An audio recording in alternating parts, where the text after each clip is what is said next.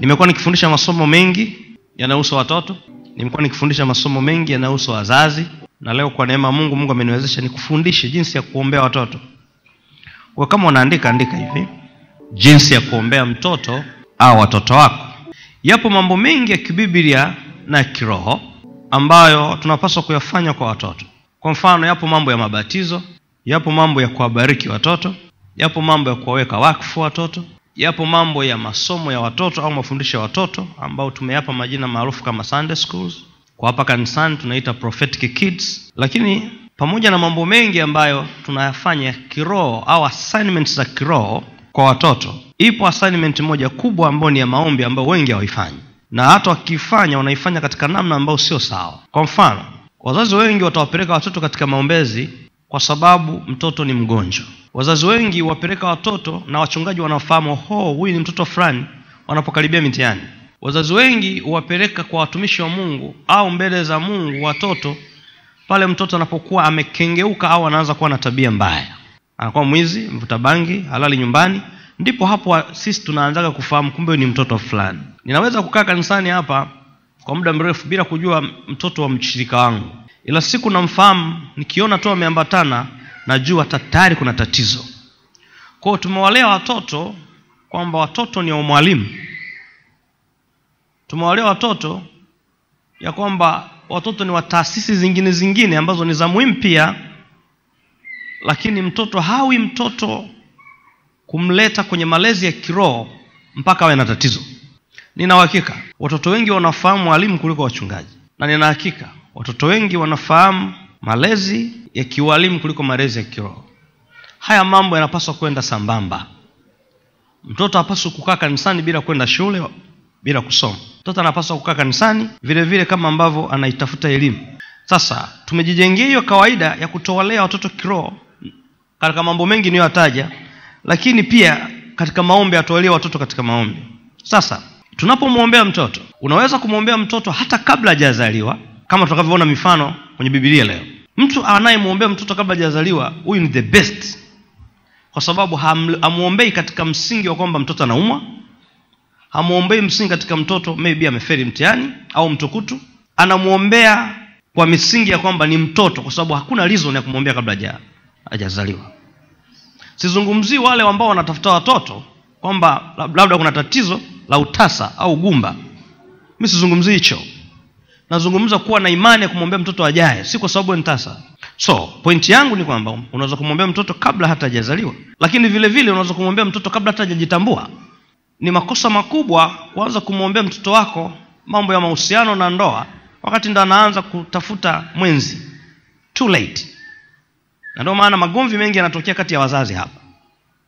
Kwa sababu mtu ambaye itakiwa iandae hiyo njia ya huyo mtoto ni mzazi.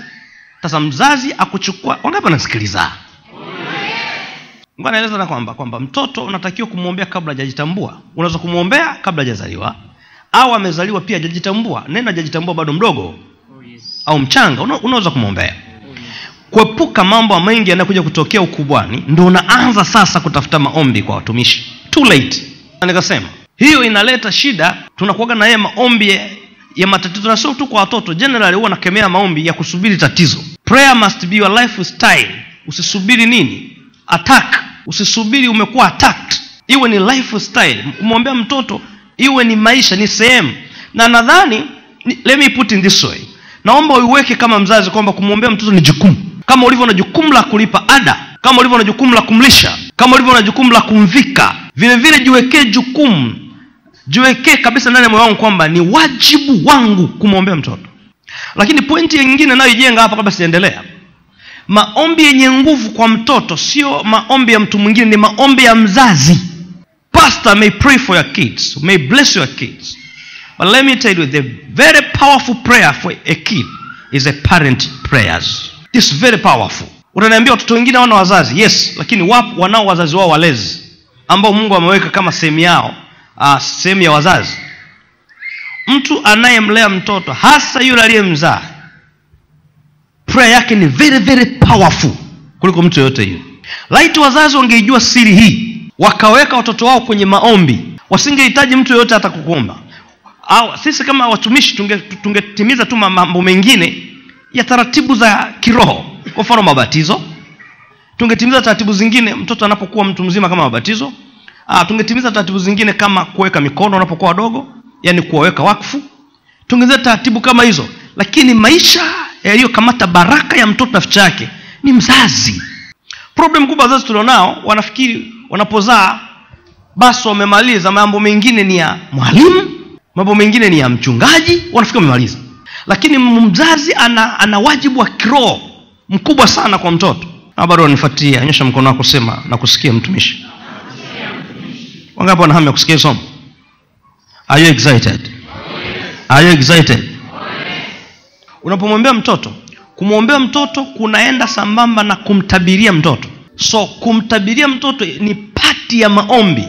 I understand ungependa mtu mmoja atoke akutabiria juu ya mwanao listen kama nilivyosema hakuna mwombezi mzuri wa mtoto kama mzazi. The same hakuna nabii mzuri kwa mtoto kama mzazi. Don't search for a prophet to prophesy for your children. Prophesy yourself. Prophesy to them. Tell your neighbor you are a prophet to your kids kama ni mwanamke mwambie you are a prophetess to our kids. Mwambie you are a prophetess to our children. You are a prophet to our children. Mwambie mm, mwambie mtu. So maombi nitakayo kufundisha leo alo alo maombi nitakayo kufundisheni leo yaende sambamba na nini? Na kumtabiria mtu so kutabiri huku ni sehemu ya prayer. Kwa sababu ninyi uzuri nini kanisa la kinabii. Mnaelewa kabisa kuna kitu kinaitwa prophetic prayers. Kwamba kuna maneno yanatamkwa kwenye maombi lakini ma, ni maneno kinabii. Huku yakiitageti future ya huyo mtoto. Hizi ni kazi za mzazi. Hebu mzazi wa leo niambie sema hivi hizi ni kazi zangu kwa mtoto. Sema hizi ni kazi zangu kwa watoto. Kumwombea mimi na kumtabiria. Kabla hajamwombea mtu yote namwombea mimi. Kabla hajamtabiria mtu yote namtabiria mimi. Watu wa mungu aseme amen sasa tunaenda kwenye tunaenda kwenye andiko la kusimama nao siku leo. Luka mkutano mkubwa wa watu wakamfuata. Huyo ni yesu. Na wanawake waliokuwa wakijipiga vifua wakamwombolezea. Yesu akawageukia akasema enyi binti za yerusalemu msinililie mimi bali jililieni nafsi zenu na watoto wenu. Na kulia kunakozungumzwa kwa mantiki hii kulia sio kulia ile kulia ambayo unalia ili machozi yatoke tu uchungu utoke. Hiki ni kilio cha kutafuta msaada. Yesu anasema mnachotaka kunifanyia mimi hapa mnapoteza muda. Mnachotaka kunililia mimi kunipigia kile mnapoteza muda. Kwa sababu mimi hamwezi kuniokoa na msalaba. Wakati wanamlilia wanawake yesu alikuwa msalabani. I mean, alikuwa kwenye mateso. Wakati yesu anateswa kwenye proses ya kuteswa wanawake wakawa wanamfata wanalia. Lakini akawambia ninyi mnavyolia kilio chenu akiwezi kunisaidia mimi kwa sababu mimi nimeandikiwa nife kwa ajili ya ukombozi wa wanadamu. Oh, yes. lakini vilio vyenu mvihifadhi machozi yenu myahifadhi. Kuna mahali anatakiwa elekee mjiombee ninyi na watoto wenu. Yes. so hiki ni kilio cha maombi. Ukitaka ujua hiki ni kilio cha maombi unaangalia kilio. Kuna mwombolezaji mkubwa kwenye bibilia anaitwa yeremia. Mpaka wakaandika kitabu kinaitwa maombolezo ya yeremia huyu ni mwombolezaji mkubwa sana kwenye bibilia watu wengi wanamjua mwombolezaji mkubwa kama daudi lakini mwombolezaji mkubwa kwenye bibilia ni yeremia. Yeremia mpaka kaandika kitabu kinaitwa maombolezo. Ukienda kitabu cha maombolezo ukafika ile sura ya tatu unagundua lengo la kulia kwa yeremia kulikuwa ni nini. Anafika sura ya tatu yeremia anasema hivi ya kwamba mungu fadhili zako ni huruma zako ya kwamba tuangamii fadhili zako ni kuu mno ni mpya kila itwapo asubuhi. Kwa hiyo kumbe lengo la kulia ilikuwa ni kwamba mungu asiliangamize taifa la wayahudi. Mungu asiliangamize taifa la israeli. Kumbe kilio cha yeremia kilikuwa kinabeba kutafuta rehema. So sio kilio kwamba kutoa uchungu. Halia halia no. So yesu anapowaambia wale watu msinilie mimi maanake mtafuteni mungu wa kilio chenu. Yamkini mungu awaangalie ninyi na watoto wenu. So unaweza kuona katika andiko hili ambayo ni andiko kuu la kwetu leo kwamba maombi yako yaambatane na watoto do you know? Watu wengi wakienda kwenye maombezi watakutajia biashara. Ukisikia amekutajia mtoto jua mtoto ni mkorofi. Ukisikia amekutajia pasta mtoto wangu jua mtoto amefeli. Ukisikia amekutajia mtoto jua mtoto amefanyaje? Anaumwa. Ukisikia amekutajia mtoto jua mtoto kapotea hayuko nyumbani. No! Una- tunatakiwa kuwa maisha yetu kila unapotamka yawe ni maombi asubuhi. Kwa mzazi naongea na mzazi. Ama maombi mengine ya ujinga ujinga wachia at least vijana lakini wewe ambao tayari ni mzazi ukitaja maombi asubuhi iwe ni jioni iwe ni wakati wa kulala usimweke mbali mtoto usiweke mbali watoto. Maana biblia inasema jiombeni nafsi zenu na watoto wenu. Jililie nafsi zenu na watoto wenu. Kila unapotaja ombi mtoto asikose. Listen maombi yako yote usije ukamkata mtoto. Ni wajibu. So yesu anadai kuambia kwamba mimi mwezi kuniokoa hapa niliko lakini kuna machozi yenu naweza kuokoa watoto wenu. Inaweza kuokoa ninyi na watoto wenu. Sasa tule kwenye kipengele muhimu sana ambacho nataka mtu asikilize kwa makini sana. Mambo gani ya kuombea kwa watoto? Mambo gani tuombee kwa watoto? Mnisikilize kwa makini sana. Je mtu anaweza kuniuliza je niombee nini kwa watoto wangu? Au nimwombee nini mtoto wangu? Yapo mambo mengi tutaangalia machache kwa sababu ya muda lakini tutaangalia yaliyo muhimu ambayo ni muhimu zaidi. Mzazi unapomwombea mwanao mzazi unapoombea wanao. Ninaomba usisahau kuombea jambo hili kubwa mno wewe ulioko hapa naona nitazama hili ni jambo muhimu sana. Watoto wengi wamekosa maombi sahihi. Watoto wengi wamekuwa wakikosa watu wa kuwabeba kwenye maombi ambao maombi mazito mbele za mungu na yenye manukato makubwa ya watoto ni ya wazazi wao. Heri wewe mtoto uliye na mzazi na heri wewe mtoto ambaye mzazi wako ananisikiliza leo. Maombi yake yatageuka manukato maishani mwako. Maombi yake yatageuka njia kukuelekea kwenye uzima. Maombi yake yatageuka ukuta na, kukinga wewe kila na, na kila hatari maombi ya mzazi huyo anayeniangalia yatageuka ukombozi wanapoingia kwenye shida. Maombi ya mzazi huyo yatakupelekea future na utakuwa na bright future maisha yako yote yajayo. Nisikilize. Mzazi aombe nini kwa mtoto? Namba moja. Unapomwombea mtoto mwombee mtoto ayaweze mambo yale kushinda wewe. Au ayamalizie mambo ambayo hukumalizia wewe. That must be your prayer daily hili swala ni muhimu sana ni mamoni anza nalo. Unamwombea nini mtoto? Mwombee mtoto ayaweze mambo ambayo wewe ukuweza au ayamalizie yale mambo mema ambayo kumalizia mambo unayozungumza hapa hata- sipofanua ni mambo mema sizungumzi mambo mabaya. Hakuna mzazi mwenye kuthamini mwanaye anatamani apitie maisha magumu anayopitia sasa hivi. Kama kweli ni mzazi, kama kweli ni mtoto wako. Listen niongee kwa, kwa, kwa, kwa kiundani zaidi. Kila mtu hapa anajua hali yake alionayo inawezekana hujamwambia mtu yoyote listen to me. Inawezekana hujamwambia mtu yoyote. But you know maisha yako ulionayo kuna vitu ambavyo unavyo au tamani viende kwa hiyo binti. Kuna vitu ambavyo unapitia au tamani viende kwa hiyo kijana. Mzazi ninaomba huo una una, una, una tathmini maisha yako unaandika. Kaa kimya kwa watu sawa. Kaa kimya hata kwa mtu, kwa mtu wa karibu sawa. Lakini usinyamaze kinywa chako kisifumbe kwa mungu. Kuna watu wana usiri mpaka kwa mungu kuwa msiri wa watu wote duniani no problem. Lakini never usio msiri kwa mungu. Maisha yetu ya binadamu tuna maisha unafiki ya kuchekana. Leo ukiongea kile kitu chako ke- kesho rafiki yako sio rafiki yako. Rafiki yako leo kesho kuta na kugeuka na kusema. Kwa hiyo mambo ambayo yako ni dhaifu ficha. Hauna hela sio lazima umwambie kila mtu lakini mbele za mungu ongea. Wapo watu mnaishi mjini hapa. Watu hawajui nyumba unayoishi. Maybe ni nyumba ya urithi na huna haja ya kuambia watu sababu watu kaida yao ni kutafuta kucheka. Lakini mwambie mungu mimi nazeeka. Maisha yangu huenda ninafikia mwisho. Sikufanikiwa kujenga. Naishi nyumba ya urithi. Mwanangu huyu mwanangu moses. Yeye asiishi maisha haya. Ukimrithisha mtoto nyumba uliorithi wewe maanake unampa nyumba ya babu. Kama babu ambaye ni baba yako alikuwa anaweza kukuachia nyumba wewe umemwachia mwanao ipi? Wengi hapa at least wazazi wenu kuna kitu alikupa. But wewe jiulize wote hapa nini no sio wote japo sio wote. Lakini kuna baadhi hapo ambao kiwanja umepewa hiki. Wewe leo ukitokea na kutokea mwanao anabaki nani? Kuna mahali umeferi kuna vitu vya kushinda. Huwa anawaambia wazazi. Wazazi wengi anapompeleka mtoto shule kwa mfano mzazi akuwa mzuri kwenye masomo ya sayansi. Mzazi akuwa mzuri kwenye masomo ya, ya, ya, ya mathematics. Amwekee mtoto mkazo pale anamwekea mtoto mkazo kwenye somo analolijua haina maana ulipoferi mathematics ulipoferi masomo ya sayansi ulipoferi masomo ya lugha na mwanao feli kiu yako iwe ni kwamba mwanangu atafaulu haya niliyofaulu na haya yaliyonishinda. Amna taamina hapa. Naongea na wazazi gani hapa? Listen maombi yako yawe ni kwamba yale yaliyonishinda. Nianza na yaliyonishinda kwanza. Baadaye nitakuja ambao ujamalizie kwamba mwanangu asiferi mwanangu asiferi mwanangu asiferi mwanangu asiferi mwanangu asishindwe wanangu wasishindwe ulifanya biashara kafeli.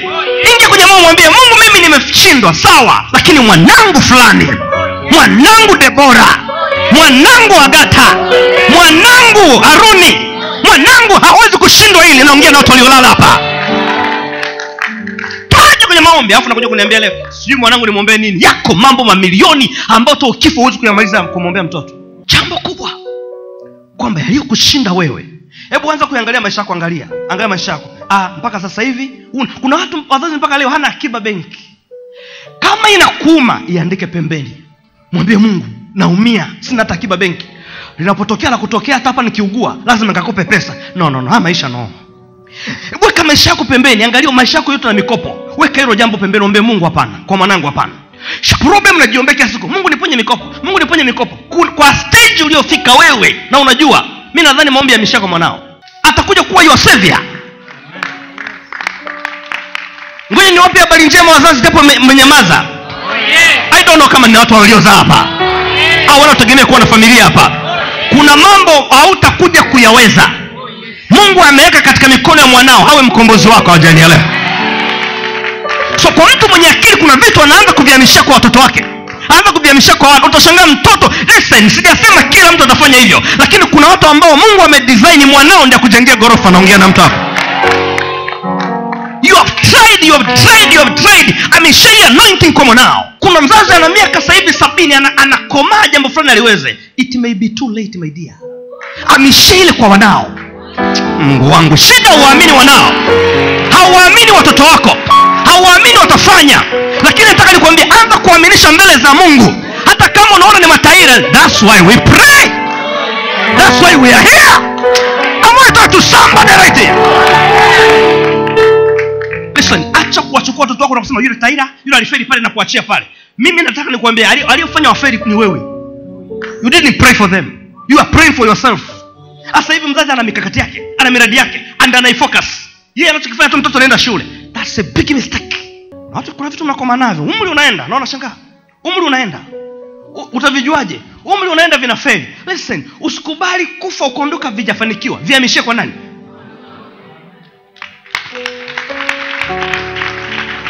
Na uwe wazi usifiche. Oh, mi nilifeli mwanangu akijua itakuwaje. Unaona aibu kwa mwanao? Mwambie mwanangu mimi nilifeli hapa wewe utafeli mwambie nilifeli kwa hii reason na hii reason na sababu hii. Yo usipite kwenye njia hii utafeli kama mimi. Don't do this.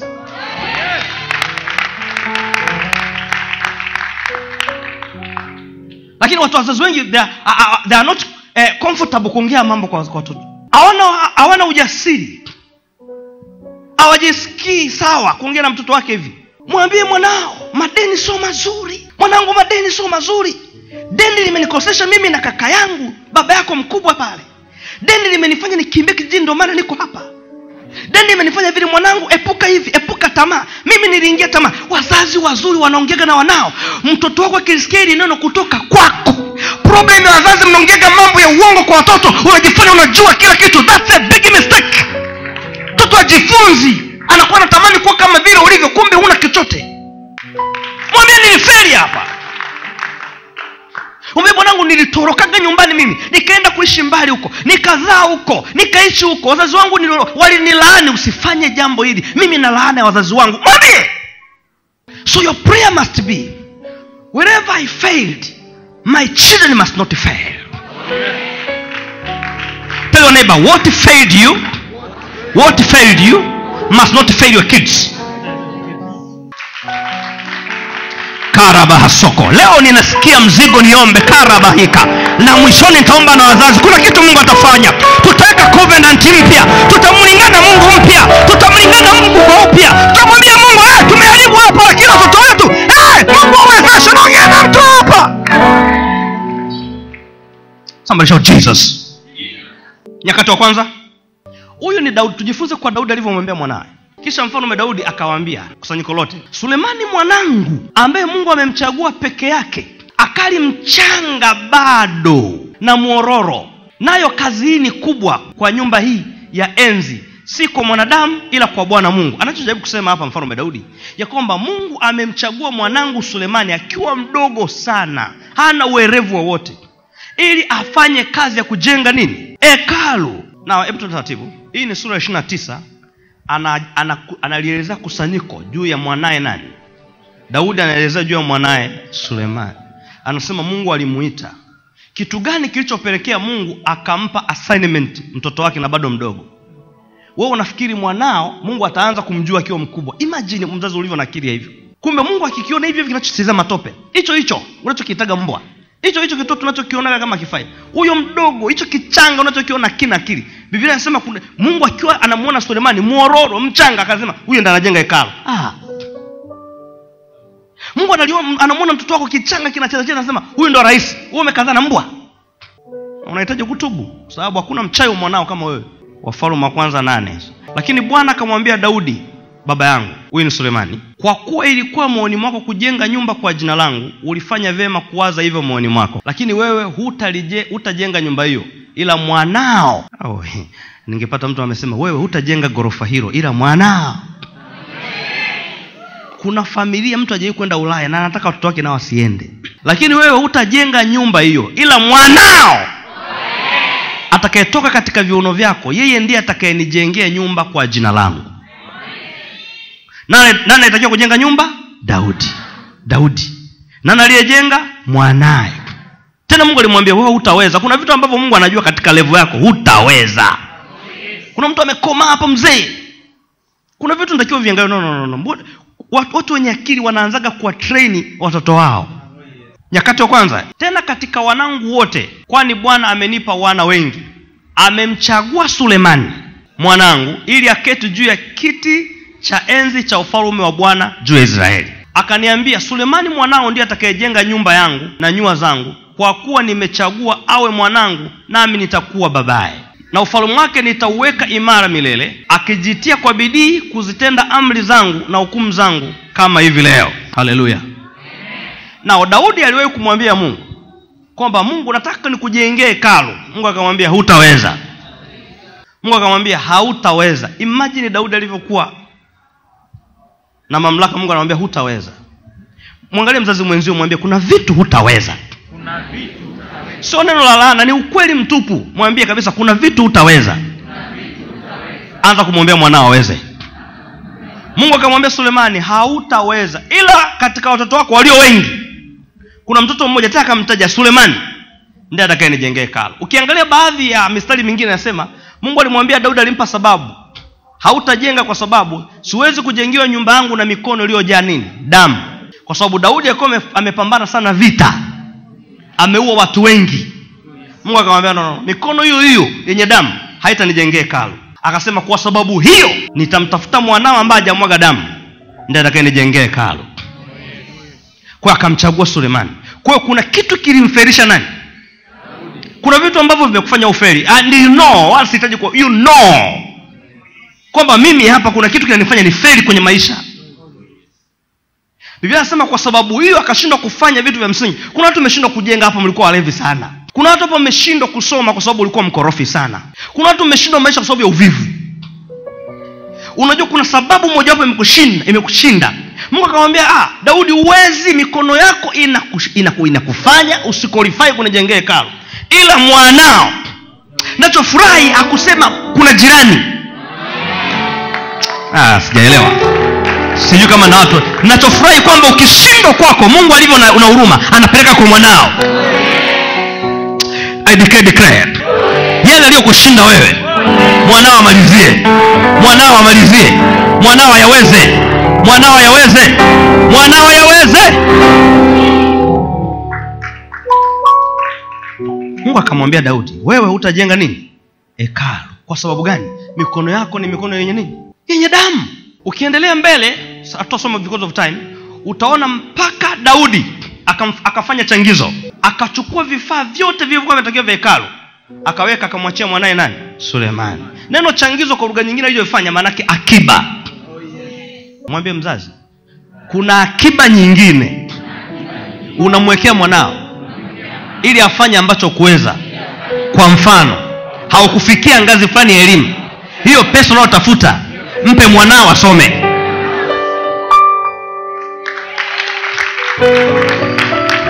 So maandiko anasema daudi akafanya changizo akaita watu akaita kusanyiko akasema jamani nimewaiteni leo kwa sababu moja. Mimi siwezi kujenga hekalo la bwana. Sina sifa.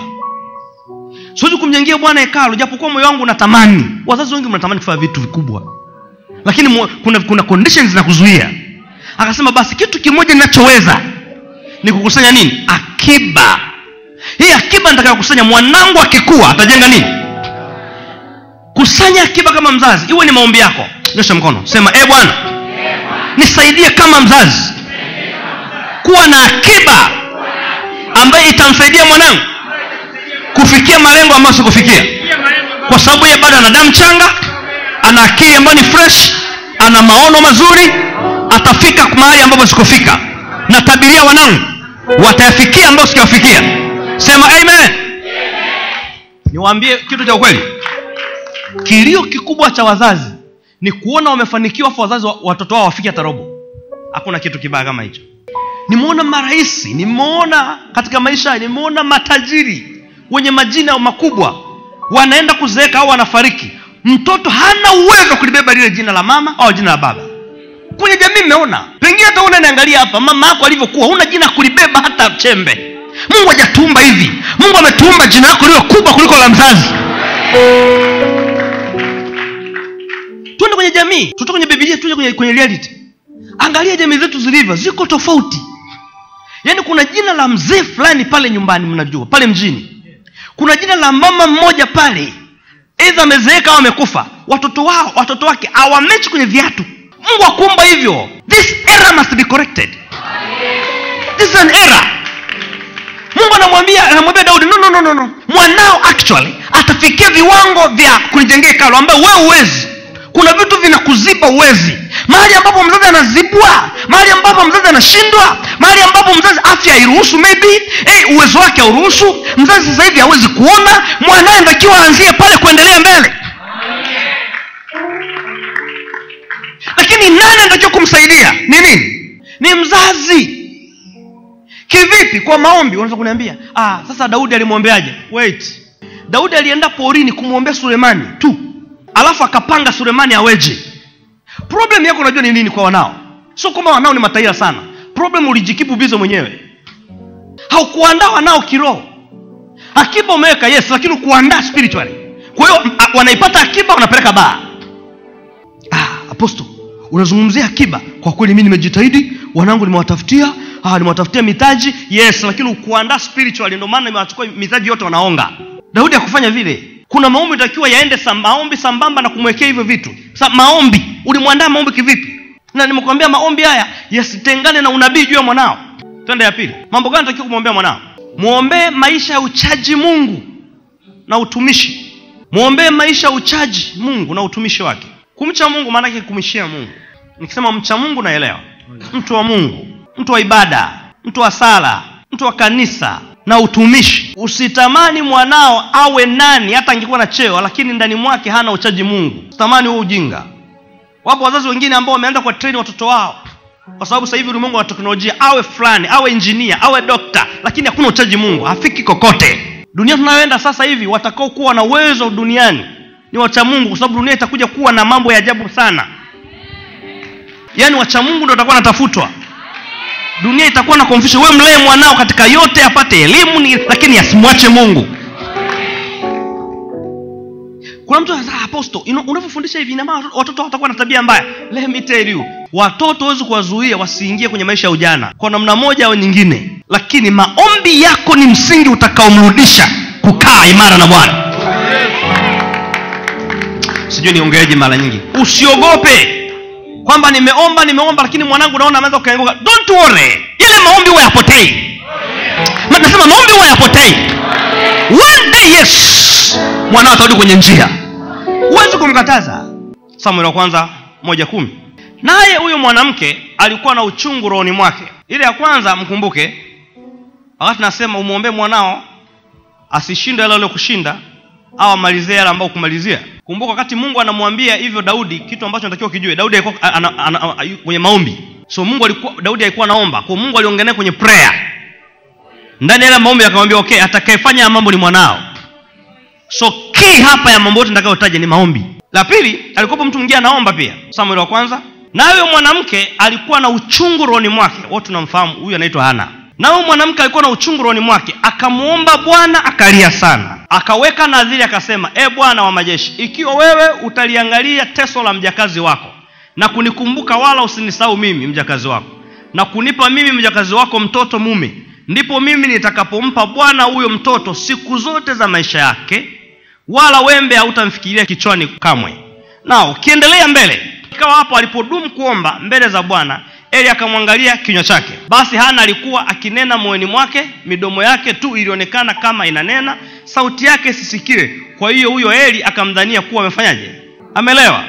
Lakini ukiendelea mbele akamjibu eli ya kwamba mimi sikulewa. 24 mpaka 28 na alipokuwa amekwisha kumwachisha maziwa sasa mtoto ashapatikana. Akamchukua pamoja naye akamchukua mtoto akachukua na ng'ombe watatu na efa moja ya unga na chupa ya divai akamleta nyumbani kwa bwana huko akamleta nyumbani kwa bwana huko shiro naye mtoto alikuwa mtoto mdogo.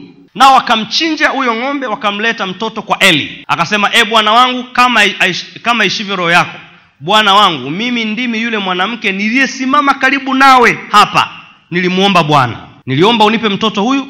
Bwana akanipa dua yangu niliyomwomba. Kwa sababu hiyo mimi nami nimempa bwana mtoto huyu. Wakati wote atakaokuwa hai atapewa bwana naye akamwabudu bwana huko. Huyu mwanamke alimwambia mtoto wake hata before ajaje kwamba maisha mimi ambayo nayatamani kuona kwa mtoto amche mungu siku zote za maisha yake. Alipomaliza kuomba achana na wazazi wengi wanaombaga hivyo kwa sababu wana uhitaji maandiko anasema alipompata mtoto akamwachia kunyonya sijawai kuona mtu wa hivi. Tasa miaka yake yote amempata mtoto. Mwingine angependa ndo anamwangalia kama yai.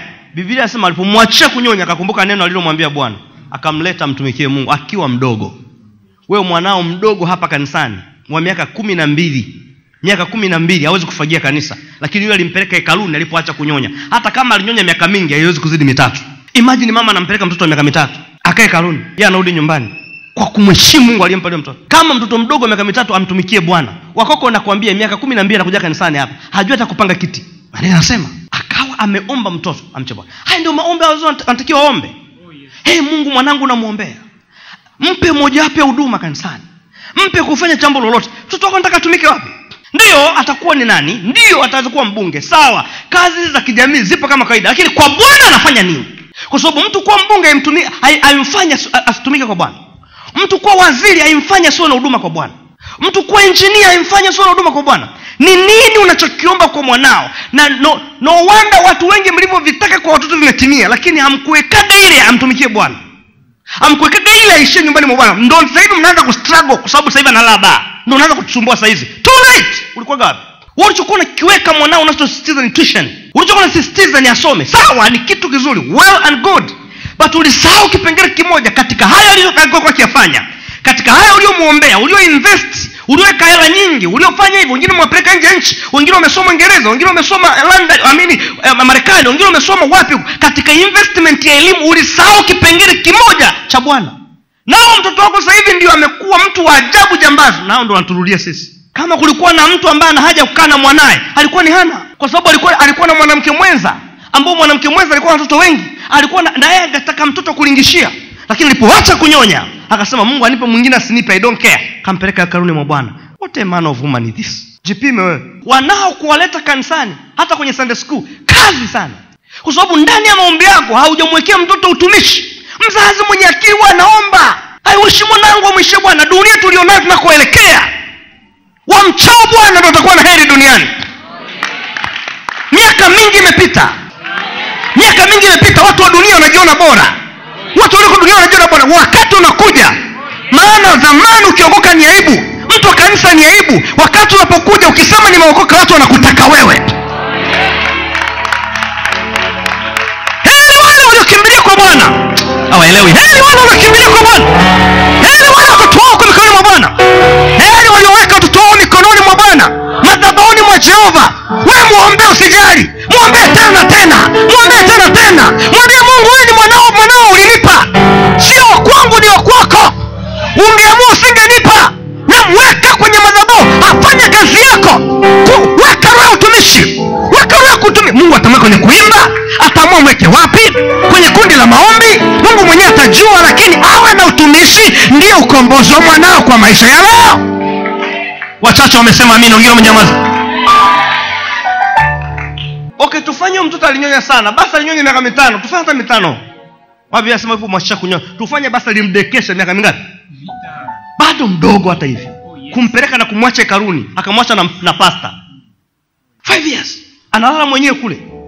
Sio kwamba alikuwa namfata jioni anakuja kulala nyumbani. No! Akuruhusiwa kutoka hekaruni na akuruhusiwa mtoto kumnyonya kumnyoa nywele. Kwa sababu zamani ili nadhiri wakuwa wanamjua mnadhiri kwa njia ya nywele. Akuruhusu mtu yote mtoto anakuwa anauliza mama yangu yuko hapa naambia mama yako yuko nyumbani naomba nikamwone hapana. Alikutoa. Wakionana mama yako wanaona muda wa ibada alafu anaondoka. Leo mimi nawahakikisha hili jambo nalirudia. Tukimwona mwanao anaumwa. Kafunga shule. Ah, mwanangu amefunga shule nataka nikuletee pasta. Kwa sababu kule shule nasikia anashtuka shtuka. Kwa asingeshtuka na uzuri mnanijua tabia zangu. Sio kajaribu kuniambia ujinga. Ukinikuta nimekaa vibanda nitakwambia atashtuka zaidi. Kwa sababu nataka kumjua mwanao sio kwa shida. Nataka kumjua kwa sababu ya utumishi ndani ya nyumba bwana aje afundishwe kuimba hapa aje afundishwe afundishwe stori za bibilia afundishwe habari za yusufu afundishwe habari za daudi. Akiwa mdogo hapo usitusumbue. So unapomwombea mwanao mwombee kama hana. Namba moja nimesema umwombee kama daudi. Umwombee nini? Daudi alienda kwa mungu kuomba juu hekalu. Mungu akamwambia maombi yako badilisha mwombee mwanao sulemani. Lakini ja pili mungu tunajifunza kwa ana ana kaa namwombea mwanaye akasema mungu huyu mtoto naomba uweke utumishi ndani. Wee lini ulifunga siku tatu na maombi inayosema sio maombi ya kwenda kulala. Nimesema kila maombi unaomba mwinkurudi mwanao lakini kuna special prayer natakiwa iandae. Lini ulikaa siku saba unaombea watoto wako afu leo unalaumlaumu kama uliweza kubeba mtoto miezi tisa tumboni wa mwanamke unashindaje siku saba kumwombea? Kama uliweza kuvumilia uchungu ule wa kuzaa maumivu yale yaliyo makali ambao wanaume hatujui yanafananaje lakini tunachokijua ni makali unashindaje kuvumilia uchungu wa njaa siku tatu? Wewe una shida wewe unashinda kuacha chakula chote siku tatu unamwekea weka makufu kwa bwana. Weka makufu kwa bwana. Omba mwanangu hata iweje hata dunia ingependa vipi atarudi madhabauni siku tatu unash- unashindwa uliweza kumzaa? Wengine umezaa kwa kisu. Wengine umezaa maumivu ya ile operation. Ukaanza kujifunza kutembea baada ya operation kama mtoto mdogo unaanza maumivu yale ya kisu ama uyavumilia. Eh? maumivu vidonda vile wengine kidonda kilifumuka kikashonwa kika, kika, kika, mara tatu mara nne. Ulivumilia unashindwa kuvumilia njaa siku mbili una tatizo wewe kiroho. Ifike mahali tuwe serious. Mtoto anawekwa madhabauni kwa bwana na unaomba wewe kama mzazi sio pasta wewe kama wewe kwamba kuna utu- huyu mtoto utumishi akuombewa na eli. Eli ndi alikuwa kuhani hakumwombea utumishi aliombewa na mama yake. Inatakiwa mtuletee watoto ambao tayari mmepanda vitu vya kiroho ndani. So kuleta watoto kila siku kwenye mapando ya giza tu. Kwani msipande vitu vya kiroho imagine huyo mama kumpeleka mtoto kwa kuhani eli kwa sababu anaumwa. E, e, kuhani eli nimekuletea samueli anaumwa. Si unakumbuka nilimwomba kwa bwana eh? anaumwa sasa. Ha, ha. hakuna sehemu alikuwa anaumwa. Alimtriti kiroho. Alimleta akiwa mzima mzima akasema amtumikie bwana. Alafu akaondoka zake. But you tukiona umetuletea mtoto ana problem. Hii kitu i hate it. Sipendi. Alafu kila siku mwanangu hajabadilika bado. Ongeza maombi. Mwanao ninayemwona kila siku kanisani hapa siku akikengeuka nitashiriki maombi. Nitashiriki. Lakini ambayo sijai kumwona Yaani ndo kwanza namwambia- ndo kwanza namjua tu ni wako sababu ya kisogo mnaendana. Mimi sijawahi kumwona sijawahi kumwona kanisani. Hata nikiendaga kutembelea watoto kule sijawahi kumwona ndo leo unanitambulisha hapa kwa nini? Kalipuka mapepo shule. Mapepo amelipuka ndio tunamjua kwa mara ya kwanza ni mtoto fulani. Sasa unapaswa kumwombea mwanao. Nataka nikuonyeshe maombi anayomwombea daudi sulemani. Maombi ya utumishi. Alafu jikompee na wewe unaombaga nini kwa mwanao. Naangalia e bwana mungu wa ibrahimu na mungu wa isaka na mungu wa israeli mungu wa baba zetu ulinde jambo hili milele katika fikra za mawazo ya mioyo ya watu wako ukaongeze ukaongoze mioyo mioyo yao kwao. Naye sulemani mwanangu jamaa sawa nimewafundisha ukiwa na maombi yoyote yale usiwatoe wanao. Jamaa anaombea watu anaombea watu anasema "Ah, ah, naye sulemani mwanangu. Jamaa sahau wewe ndo unasahau tu. Naye sulemani mwanangu umpe moyo mkamilifu ili azishike amri zako na shuhuda zako na maagizo yako akayatende hayo yote na kujenga nyumba hii e- ya enzi niliyoiwekea akiba. Anamwombea mwanaye juu ya kumjua mungu. Anamwombea mwanaye juu ya kukaa mikononi mwa mungu. Nani anaomba? Ni baba wa mtoto. Anaombea mungu ukamwumbie moyo mkamilifu. Ukamsaidia katika maagizo yako. Sulemani akukengeuka alikengeuka wote tunajua. Hadi akaabudu miungu maombi ya baba yake. Aina maana mwanao hata misbehave no i can't promise you that. But that prayer. Paradakanta katakasoko pradia that prayer. Itamrudisha mahali. Daudi alimwombea sulemani maombi ambayo hivyo vitu yeye hakuwa navyo. Ndio maana hatuoni hakuna hata siku moja sulemani anapambana na mtu. Hatuoni hata mtu yoyote anapigana na sulemani. Mimi nilikuwa najiulizaga lakini mungu akanifungulia siri ni daudi ndi alifanya hivyo daudi yeye hakupataga mtu akumwombea daudi hakuna mahali aliombewa na yese. Ila daudi akufanya ujinga akusema mimi kwa sababu baba hajaniombea mimi siombee mwanangu. Jambo la tatu la kuomba. Ombea maisha ya mahusiano na ndoa. Ombea maisha ya mahusiano na ndoa ya mwanao kwa siku za usoni. Wazazi mpaka mtakapojua ni jukumu lenu. We jukumu lako sasa hivi nakupinga wewe simtaki mimi usinetee mtu hivyo. No! Wajanja wanapelekaga hizi hoja kwenye maombi lini sasa hivi? Mwanao akiwa na umri gani? Hata kabla hajazaliwa. Mwanao akiwa na umri gani? Hata akiwa kwenye mimba. Mwanao akiwa na umri gani? Hata akiwa mchanga. Mwanao akiwa na umri gani? Hata hajasema. Mwanao akiwa umri gani? Hata akiwa sekondari. Mwanao akiwa na umri gani? Hata hajao proposed. You pray before. Na usipeke maombi ya ajabu ajabu. Oh, mwanangu umsaidie asiolewe tanzania acha ujinga. Omba vitu vya msingi. Hey, bwana yesu naomba msaidie mwanangu asiolewe na asiolewe na wasukuma. Haya ndo maombi ya wazazi wa kipumbafu ya siku hizi. E, mwanangu mwanangu ninaomba umkinge mwanangu na wakinga kama ilivyo jina lao la wakinga mkinge. Ombea maisha ya mahusiano na ndoa ya mtoto wako au watoto wako kwa maisha ya usoni.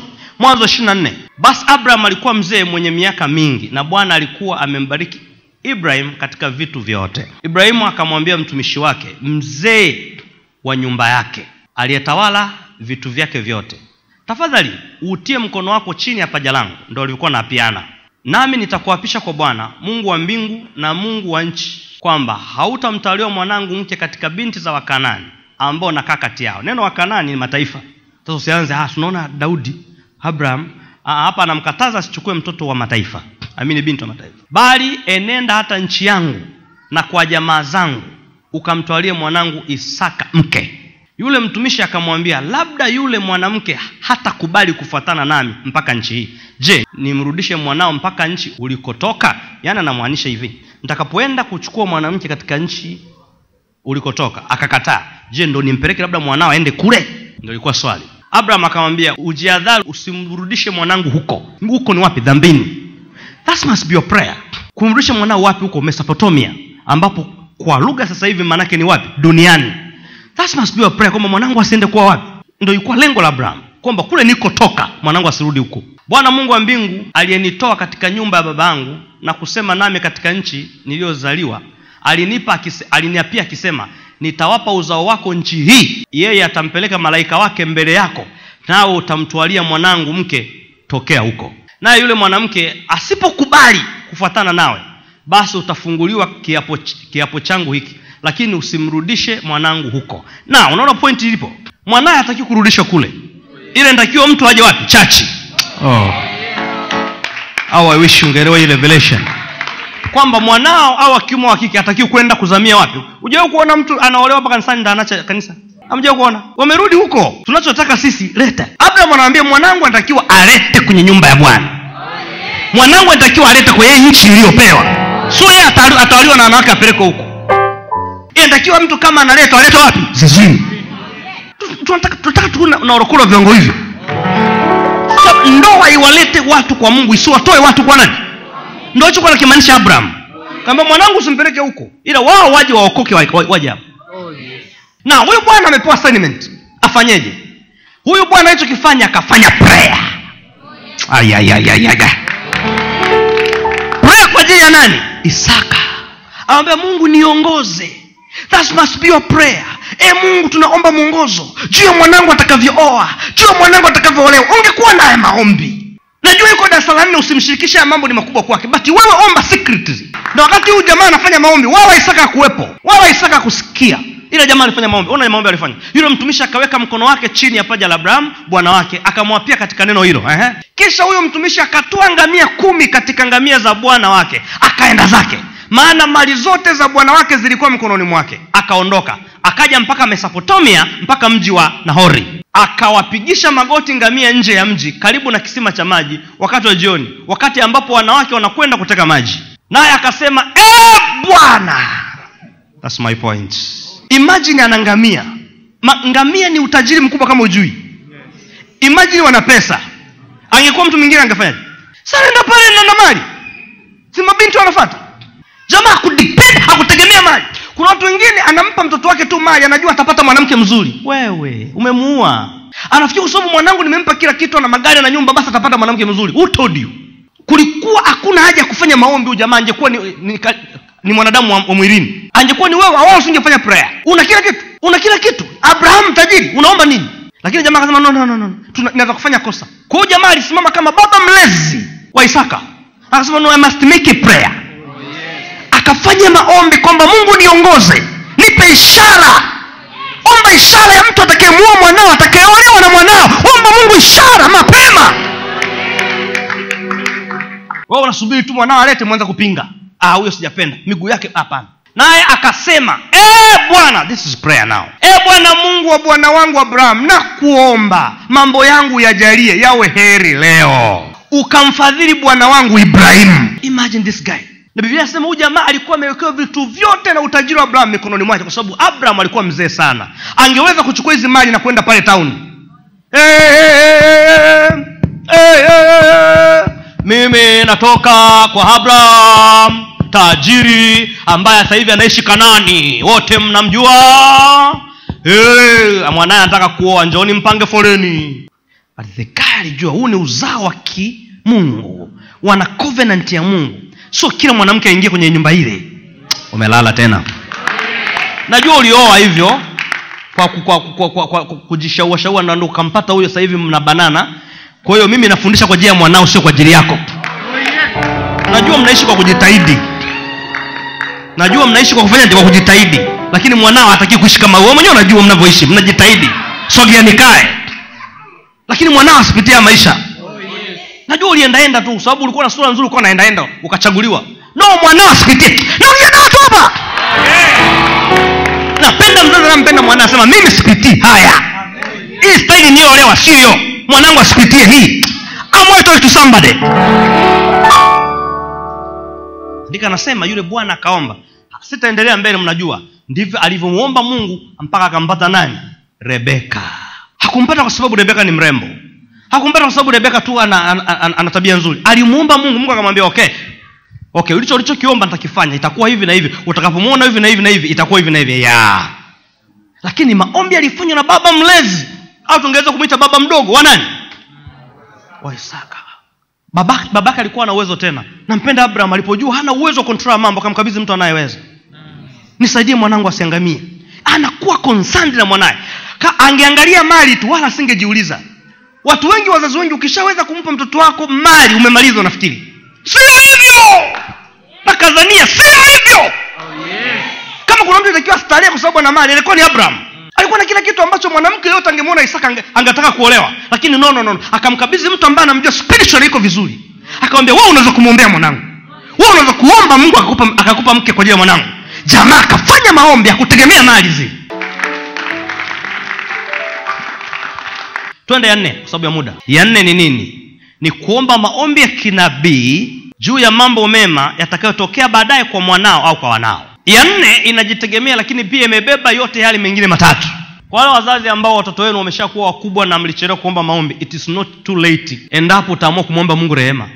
Na wanatakiwa utubu kweli. Ulikuwaga umwombei kwa bwana. Ulikuwa unaenda tu. Mbaya zaidi ulikuwa hata hujaokoka. Kwa hata ukuwe kuyafanya ninayosema. Nyinyi ambao mmeingia hapa mna heri nyie wazazi mna heri wazazi wajao. Wazazi walioko sasa hivi mna heri mkiomba ya wanao watakuwa bora.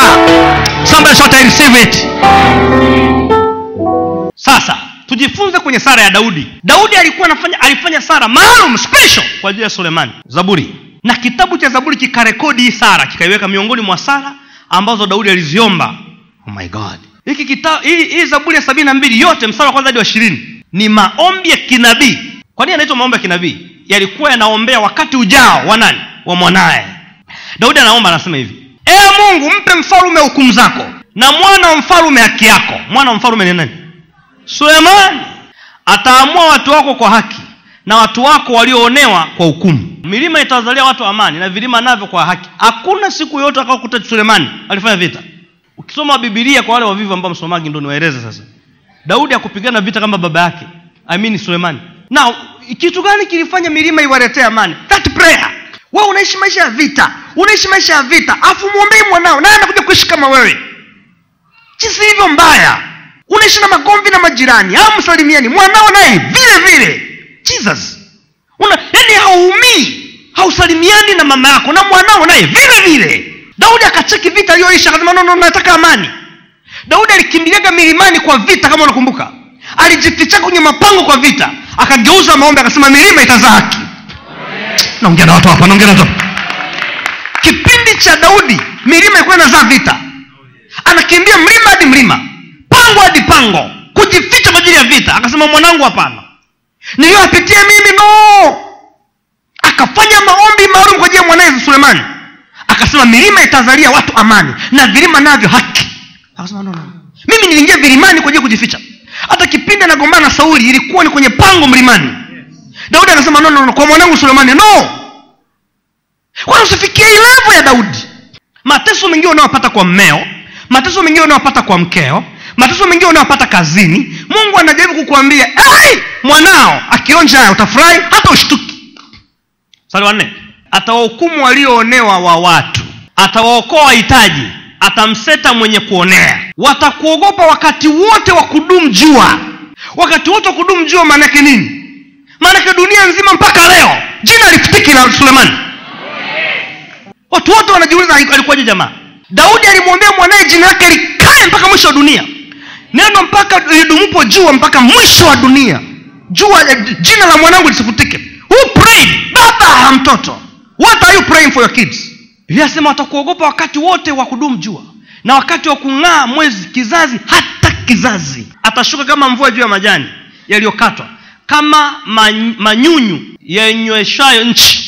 Siku zake yeye mtu mwenye haki atastawi na wingi wa amani hata mwezi utakapokoma. Na awe na enzi toka bahari hata bahari toka mto hata misho ya dunia. Wakao jang- jangwani na wainame mbele zake adui zake na walambe mavumbi. Wafalme wa taashishi na visiwa walete kodi. Wafalme wa sheba na seba watoe vipawa. Hapa ndo namkumbuka yule mfalme wa sheba aliyeondoka akaenda kwa sulemani. Nani alitabiri ya mambo? Baba yake. Sasa shida msomi bible ndo maana inogi kwenu. Kwa wasomaji wa bibilia mtakuta wafalme wa tashishi. Waliobeba vitu vya thamani wakaenda kwa sulemani. Kuinama hadi wakalamba mavumbi. Utam, utamkuta mfalme wa, wa, wa, wa shiba malikia wa shiba aliyetoka na dhahabu akampelekea nani? Sulemani. Tena akawa surprise alipofika kwa sulemani sulemani akamwambia hii dhahabu ulioleta kwetu tunatandikaga hapa. Akampatia nyingine. Aende naye. Maandiko yanasema yule mwanamke akasema haukubaki moyo ndani mwangu nipoona ule utajiri anajua alichokiona anajua mwenyewe mwanamke. Lakini mwanamke akasema hakubaki moyo ndani yangu kwa utajiri niliyoona. Nipoangalia wale wajakazi waliomzunguka nyumba yake anayoishi na nyumba ya bwana aliyoijenga haukubaki moyo. Huyu mfalme alikuwa ametoka shiba lakini aliyemtabiri nani daudi this guy was a prophet. Watu wengi hapo wanatoka tama i want to be a prophet. Anzia kwa wanao anzia kwa wanao so watu wanaona mtu anatoka shiba anakuja kwa sulemani. Wanafikiri ilikuja tu. Baba yake alitaja. Accuracy prophecy. Kwamba mtu atatoka shiba watu wanatoka tashishi ukiangalia maandiko mengine katika bibilia katika vitabu vya nyakati na maandiko mengine utaona vitabu vya falme. Utaona watu kutoka tashishi utaona watu kutoka shiba wanakuja lakini before aliyetabiri nani? Baba yake. Yaani baba yuko porini anamwombea mwanaye. Wewe je? What have you done? Naam wafalume wote wa na wamsujudie na mataifa yote wamtumikie. Nafikiri watu wengi wakisomaga hapa nafikiri ni yesu. Sio yesu ni sulemani. Kwa maana atamkomboa mhitaji aliyapo na mtu aliyeonewa iwapo hana msaidizi. Atamhurumia aliye dhaifu na maskini na nafsi za wahitaji ataziokoa. Ni sulemani sio yesu. Watu yesu. Sulemani! Alisaidia watu wengi sana. Basi na aishi na wampe dhahabu ya sheba. Alipewa kupewa? Na wamwombee daima na kumbariki mchana kutwa. Sasa yesu anaombewaga? Hii sio yesu. Hii ni sulemani watu wakisomaga pale hey, wanafikiri yesu hey. na uwepo wingi wa nafaka katika ardhi juu ya milima. Matunda yake na yawayawaye kama lebanoni. Na watu wa mjini wastawi kama majani ya nchi. Kipindi cha sulemani watu walikula bata. Unasema bata la nani huyo? Bata lilikuwa la sulemani bwana. Ukimtembelea na kuongezea jina lake nalidumu milele. Pindi ling'aapo jua jina lake liwa la wazao wa mataifa yote na wajibariki katika yeye na kumwita heri. Nani? Sulemani ambapo hata yesu alipokuja akatoa mfano akisema katika majani yote haya mnayovikwa ni mfano wa nani? Wa sulemani. Na imidio bwana mungu mungu wa israeli atendaye miujiza yeye peke yake. Jina lake la utukufu limidiwe milele dunia yote ijaye utukufu wake. Amina amina. Akamaliza kwa kumshukuru mungu akafunga maombi yake. Akaenda kufungulia. Sio alikunywa uji anajua mwenyewe. Imajini aliyeomba hakuna hata moja mali alikotokea kwa sulemani na, na, na, biblia zile ambazo zina heading pale juu. Hii inasema kwa kiingereza a prayer for the king a psalm for solomon. Maombi kwa ajili ya mfalume. Sala kwa ajili ya nani? Ona inasema, inasema hivi. Sala ya kumtakia mfalume neema ya nani? Sulemani nani aliomba baba yake daudi. Anamtakia neema nani? Sulemani ilitokea kutokea hicho ndo nataka mkifanye. Inaitwa prophetic prayers. Haziangalii mwanao anaferi darasani. No. Usiangalie mwanao sijui kitu gani. Hajalala nyumbani jana. No. You go somewhere. You, nenda mara mbili mara tatu. Nenda porini. Fanye declaration. Mwanangu atakuwa hivyo. Hata ukimaliza kuomba kuambia mwanao amekuwa mwisho rudi tena. Usijali wale mliwahi kusema amina naitokee kwa watoto wenu. Naitokee kwa watoto wako wajao. Kwa watoto wako walioko sasa. In the mighty name of jesus. It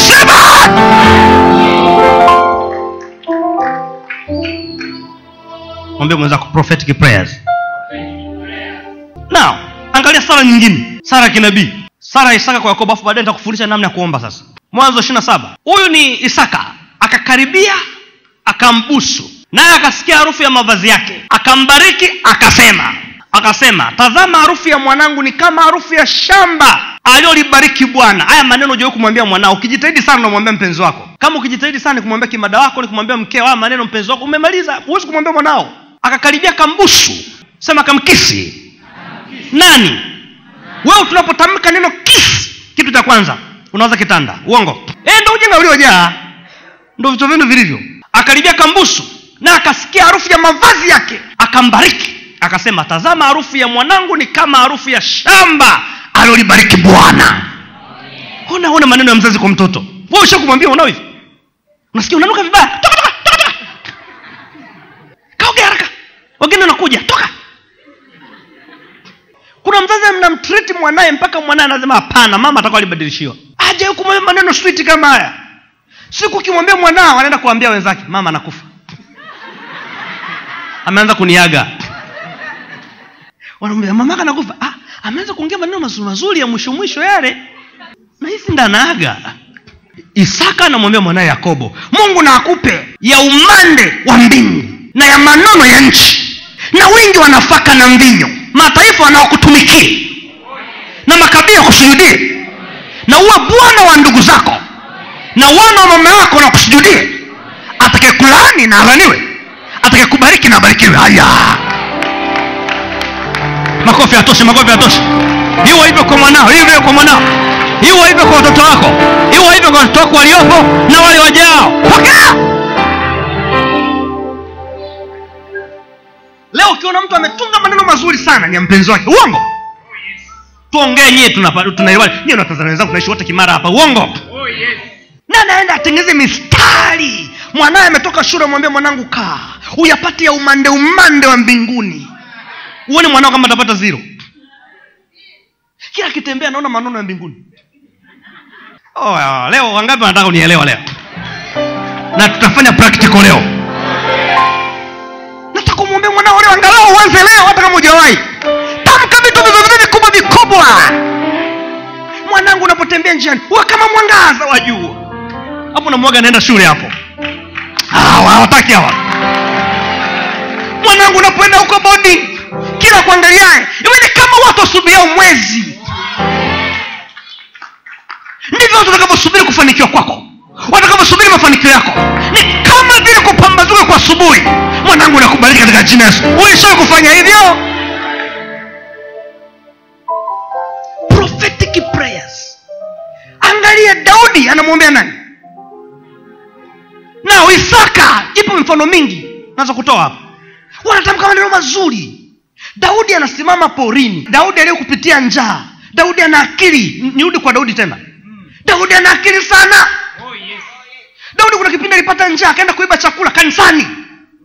Maandiko anasema daudi alikimbia porini. Anakimbia vita. Watu wamekimbia porini wakapata njaa. Maandiko anasema wakaenda hekaruni kule hekaruni kulikuwa na mikate ambayo itaki kuguswa inaguswa na makuhani. Daudi akawambia wenzake kama kufa tu tufe. Tutuli tu. Wakaingia mle ndani wakala watu wakawakuta wakasema daudi daudi unakufa. Unakufa akasema ah, mimi nsikuwa na namna. Mungu akamrehemu si ilikuwaje wanajuaga na mungu. Watumishi wa mungu na mungu msio mnaingiliaga. Now let so daudi akakumbuka alivyoiba chakula. Akasema no mwanangu aweziiba akaomba katika ile sala akasema watu wakuletee nafaka. Amjaona kwenye ile sala? Kiwemo chakula tele. Kwa nini aliomba maombi? Alikumbuka ile njaa Ah, mwanangu hawezi kusafa na mwanaye kwa kupitia njaa kwa sababu ya maombi ya nani? Nataka mwanao umwombee maombi yanayobezi unavyoishi wewe. Jinsi ambavyo umehangaika mwambia mungu "Ah, hapana. Mwanangu ninamuona namtabiria atakaa kwenye nyumba na atakuwa na apartment. Mimi nilipangisha mwanangu yeye atapangisha. I wish mtu aongee hivyo i wish. Au i wish mtu asema hivyo. I wish mtu asema hivyo. Mimi naishi kwa kupangisha mwanangu yeye hatapangisha atawapangisha wengine. So daudi aliyekuwa na njaa kaiba kama nguo mjui. Sina muda wa kuweka kila andiko hapa. Lakini akamwambia mwanaye asiwe na njaa. Daudi aliishi milimani. Yaani katika sehemu kubwa ya maisha ya daudi ilikuwa ni porini kuliko nyumbani. Unajua kaombaji akaenda kwenye ile milima ile ile. Akasema vilima hivi ambavyo nilikimbilia kwa sababu ya shida. Hapakuwepo amani. Nilikimbilia nisife kwa upanga wa nani? Wa sauli milima hii nilikimbia maadui zangu wa filisti. Sasa nawaitabiria vilima hivi vitatoa amani kwa mwanangu sulemani. Vilima hivi vitatoa haki. Ndio maana ile zaburi ya sabini na mbili. Hakuna alipambana na sulemani maisha yake yote.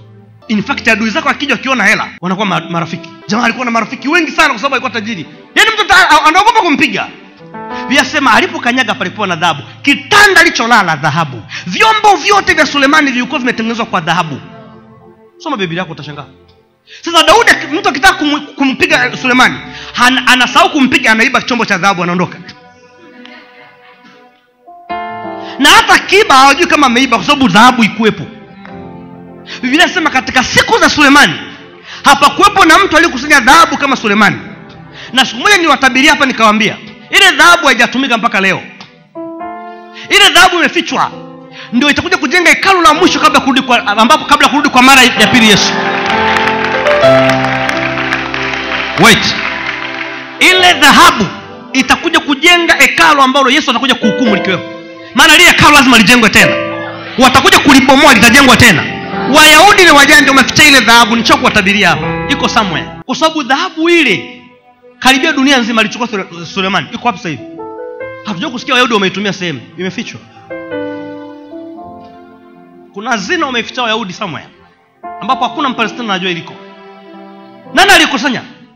Ndo ndo maana biblia inasema jina lako litatangazwa vizazi na vizazi which means vizazi vile vina kitu cha sulemani vimeficha. Na ndo maana mpaka leo inaitwa solomoni temple. Sio jina la mtu yote. Hata ile ka- hekalu huo likivunjika wakajenga tena.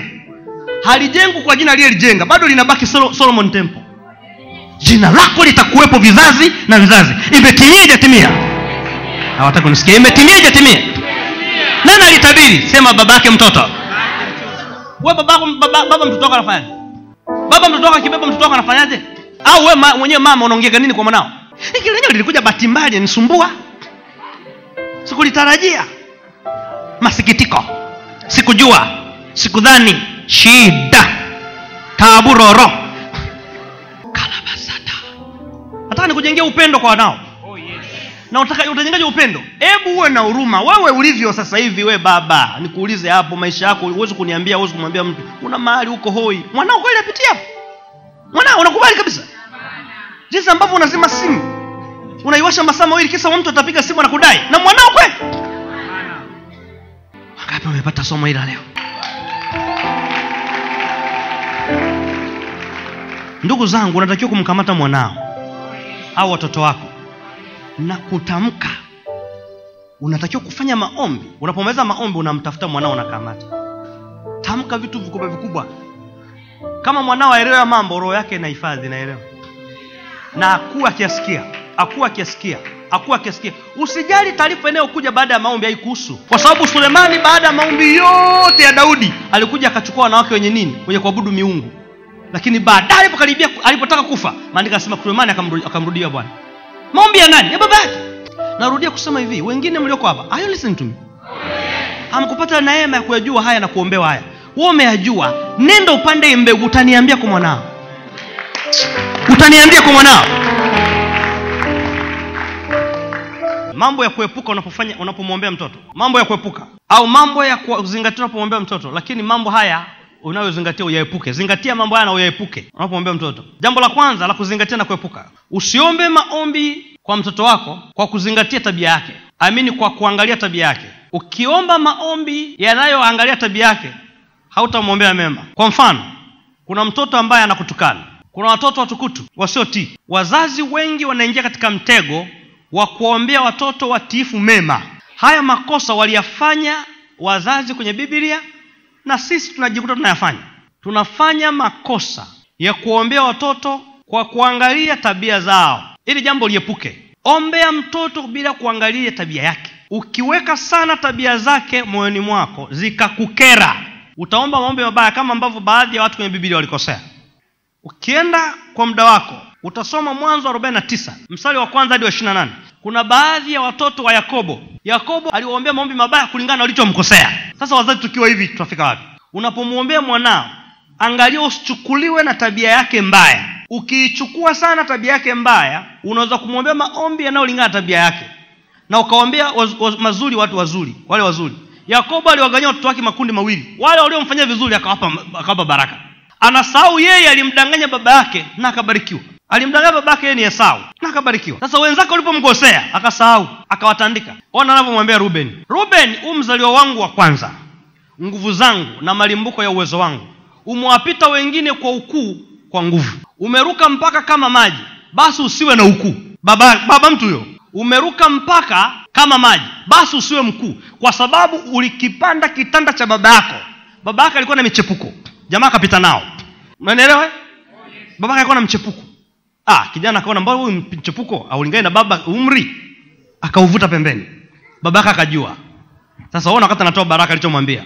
Umeruka mpaka kama ume, mpaka kama maji. Basi usiwe mkuu. Sikiliza sababu sasa. Sababu yenyewe ni sababu ya nini? Ya kidangaji.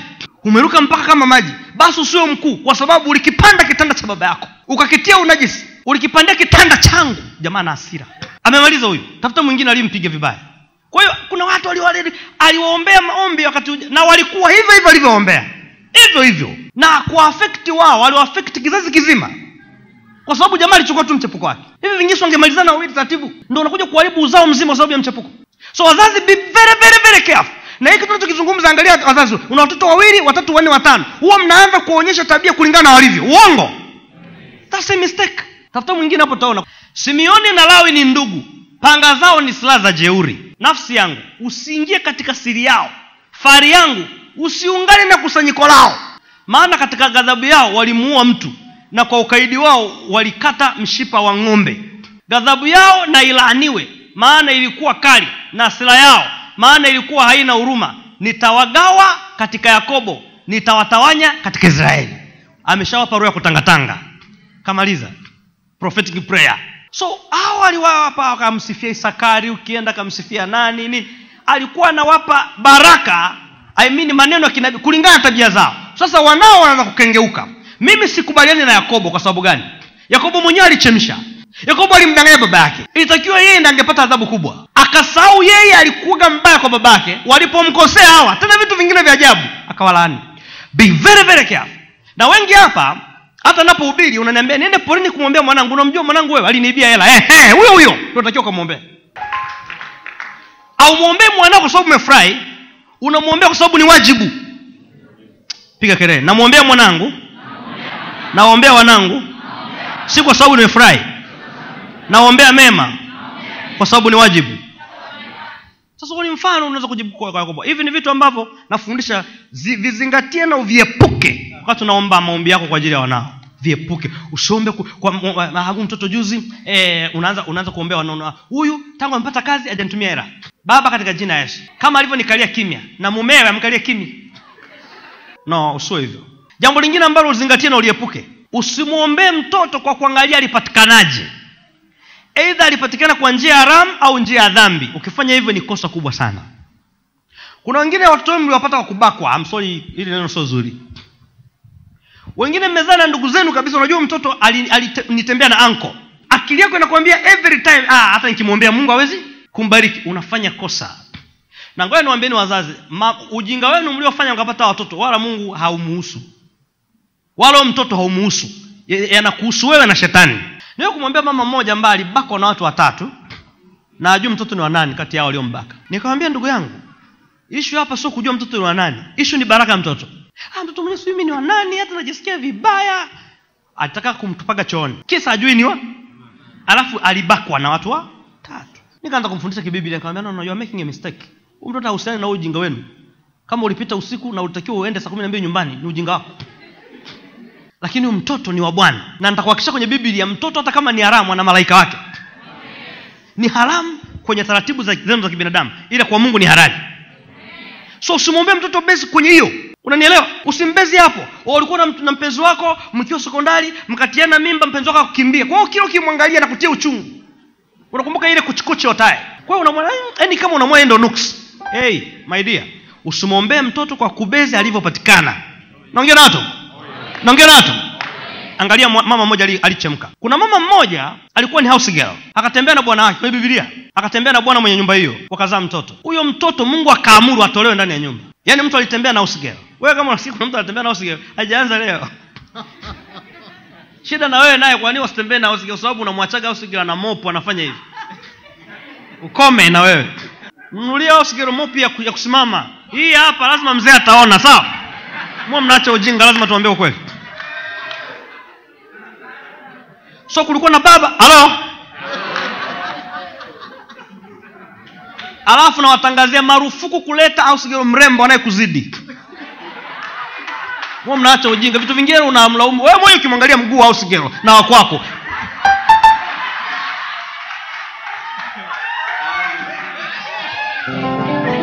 uongo? Uongo mzee mapunda? Mzee mapunda anasema sawa sawa katika vitu ambavyo nashauriji wanawake. Usilete girl mrembo. Tafuta sura private weka pale ndani. Na kitu cha pili na washauriji wanawake usitafute msimamizi wa ndoa wa harusi anayekuzidi. Eti nimlete mwendi samu wafu anasema ah, angekuwa huyu na huyu. Unajua watu eh? mi mjinga. Usipeleke mtu mrembo kusimamia harusi yako na usipeleke mrembo kuwa house girl. Sasa kuna jamaa mmoja na huyo jamaa anaitwa abraham.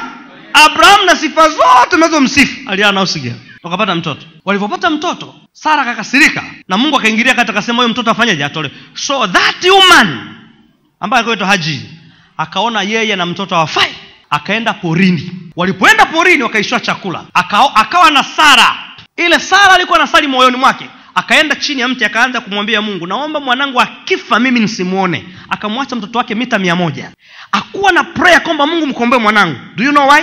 Aliona mtoto ni nini? Haramu. Sikilizeni wazazi sababu jinsi mtu alipopata mtoto hapa anajua. So akalipoenda porini akakumbuka. Kwanza mungu ndi amesema nitoke kwenye ile kwao automatic mimi nitakuwa nimeraniwa na mwanangu. Andika anasema abrahamu akampa chakula akampa na maji. Alipofika njiani maji akaisha jangwani maandiko anasema akaenda akamwacha mtoto mita mia moja. Yeye akigeukia huko akamwambia mungu mwanangu afe lakini nsimuone which means prayer ilikuwa ni nini? Prayer ni kifo akuomba uzima. Malaika wa mtoto akaja. Amnielewi malaika wa nani? Akaja akamwambia wewe wewe wewe huyu mtoto afi. Let me show you. Mwanzo ishiri na moja msaa kumi na tano. Yale maji yakaisha. Ushajua maji yalitoka wapi eh? yale maji yakaisha katika kiriba akamlaza kijana chini ya kijiti kimoja. Akaenda akakaa akimkabili mbali naye kadiri ya mtupu wa mshale. Maana alisema nisimwone kijana akifa. Naye akakaa akimkabili akapata sauti yake akalia. Ukisoma baadhi ya tafsiri nasema alienda mita mia moja. Alipomwacha mwanaye mtupu wa mshale ni mita mia moja kama mjui. Alipomwacha mtoto mita mia moja akaenda kalia. Kwa sababu mtoto huyu ni mtoto huyu, ni kijakazi ni house girl. Kazaa na mbaba ambaye ni abraham. Abraham namsifia. Mungu akasema sara akasema sitaki kumwona na mungu akamunga mkono sara kwa sababu ni nyumba ya sara. Mtoto akatolewa nje. Abraham biblia nasema abraham aliumia sana lakini mungu akasema siwezi kufanya kinyume na bwana. Tena biblia inasema wakati anatoka haikusema kwamba abraham akasindikiza. Biblia inasema abraham akawafukuza. Imajini yule yule dada anaona abraham anawafukuza. Kinachokuja kwenye moyo wake sisi ni aram tumelaniwa. Nao abraham anawapa maji. Njiani maji yanaisha. Yule mama ana tulijua. Hii ni mbinu ya mungu ya sisi kufanyaje kufa. Lakini sitaki kumwona mwanangu akifa. Akamweka mtupu wa mshale mita mia moja akageukia huku. Sala yake ni kwamba msimuone mwanangu akifa. Hana sala ya kuomba kwamba tuishi. Kwa nini ajiombei mema? Kwa nini amwombee mtoto mema? Kwa kuzingatia mtoto alivyopatikana. I don't care hata kama umezaa na mdogo wako. Mimi nadili na mtoto sidili na wewe. Wewe utajuana na mungu wako. Na angalia. Mungu akasikia sauti ya kijana. Na nataka uzingatie vitu vili akusikia sauti ya mama yake alikuwa walikuwa nalia wawili. Mtoto na mama yake biblia inasema kapaza sauti. Na angalia kati ya wawili alisikia sauti ya nani. Kumbuka somo langu la leo ni la mtoto wala sola kwako. Oh, yes. akaenda kakaka akabili mbali yule mwanamke kadiri ya mtupo mshale maana alisema nisimwone kijana akifa. Naye akakaa akakaa akim, akimkabili akapata sauti yake akalia. Nani? Aliyepata sauti akilia ni mama hajiri na mtoto naye akafanya- akafanyaje sikiza mungu alimsikia nani? Mungu akasikia sauti ya kijana. Malaika wa mungu akamwita hajiri kutoka mbinguni akamwambia una nini hajiri? Usiogope maana mungu amesikia sauti ya kijana huko aliko. Ondoka ukamwinua kijana ukamshike mkononi mwako kwa kuwa nitamfanya kuwa taifa kubwa. Oh. mtoto osigero. Piga kelele mtoto osigero. Now, you, you, you may see unaweza kuharibu ficha mtoto kwa ujinga wako wewe chukua dhambi zako ukatubu kwa mungu wako lakini mtoto mwache na baraka za bwana. Ondoka ukamwite kijana umshike mkononi mwako kwa kuwa nitamfanya kuwa taifa nini? Kubwa. Na kama mnajua kilichotokea huyu ndio baba wa arabu wote mpaka leo. Baba yao na waarabu wote anaitwa ishmaeli mama yake anaitwa hajiri. Ndio waislamu wanamwambia hajiri pale polini ndi alikutana na nani? Na malaika. Ndio mama wa waislamu wote na ishmaeli ndio baba wa waislamu wote. Na mungu alisema nitakufanya kuwa taifa mimi kuna watu hamjui amjui bibilia aliifanya palestina iwe na nguvu ni mungu. Aliifanya israeli iwe na, na nguvu ni mungu. Tofauti yao ni moja. Palestina ni taifa la mungu israeli ni taifa la mungu. Tofauti yao ni moja. Au niseme hivi. Aliifanya taifa la, la, la palestina ni mungu sababu alisema nitakufanya taifa. Na alifanya taifa la israeli ni mungu. Tofauti yao ni moja. Israeli wana covenant. Hawa hawana so kinachokuja ni kwamba biblia inasema mungu akasema mimi nitakupa agano katika mtoto atakayezaliwa na nani? Na sara. So agano ndo inawatenganisha. Ila kuwa kama taifa mungu aliwapa. Nao ona msaa unaofata mungu akamfumbua macho naye akaona kisima cha maji. Akaenda akakijaza kiriba cha maji akamnywesha kijana. Imagine god is providing sio kwa sababu ya Osigel. ujifunze kitu hapa. Ndio maana wote walipolia mungu akusikia sauti ya nani? Mungu akusikia sauti ya mama. Mungu asikia sauti ya kijana. Akamfumbua mama nataka nikuambie hata kama ulitelekezwa kwa namna yote ile kwa ulifukuzwa. Inawezekana ulivyopata mtoto ulifukuzwa na ni, na ni halali kufukuzwa. Wala sikutetei kwa sababu hata ile hajiri alifukuzwa. Lakini mungu ataprovide kwa sababu ya kijana sio kwa sababu yako wewe. Maandiko anasema yule mwanamke akafunguliwa. Unaweza kufunguliwa nayo kupata mtaji. Lazima ujue kwa ujinga niliyofanya mungu hajanibariki mimi amenibariki kwa sababu ya mtoto naongea na watu waliolala hapa. Maandiko anasema mungu akamfungua macho yule hajiri kuona kisima kwa ajili ya kijana. Which means covenant ya mtoto kuna malaika anaitwa malaika mtoto. Nenda kwenye masomo yangu ya malaika nyie. Nenda mtafute somo inaitwa malaika wa mtoto. Kwenye masomo yangu ya malaika. Kuna malaika wa mtoto. Yeye huwa ni malaika wa mtoto haji na sababu zozote zile. Yeye anampenda mtoto kama alivyo. Usimistriti mtoto aina yote ana malaika wake. Ukimistriti mtoto aina yote una mistriti huye malaika. Now let me tell you. So siwaombea watoto kwa kuangalia vitu viwili usibezi maombi ya mtoto "Ah, huyu mtoto ana tabia mbaya. Jambo la pili usibezi maombi yako ya unabii kwa mtoto alivyopatikana. Oh, yes. ila muombee kwa sababu ni nini? Ni mtoto. Pigia yesu makofi.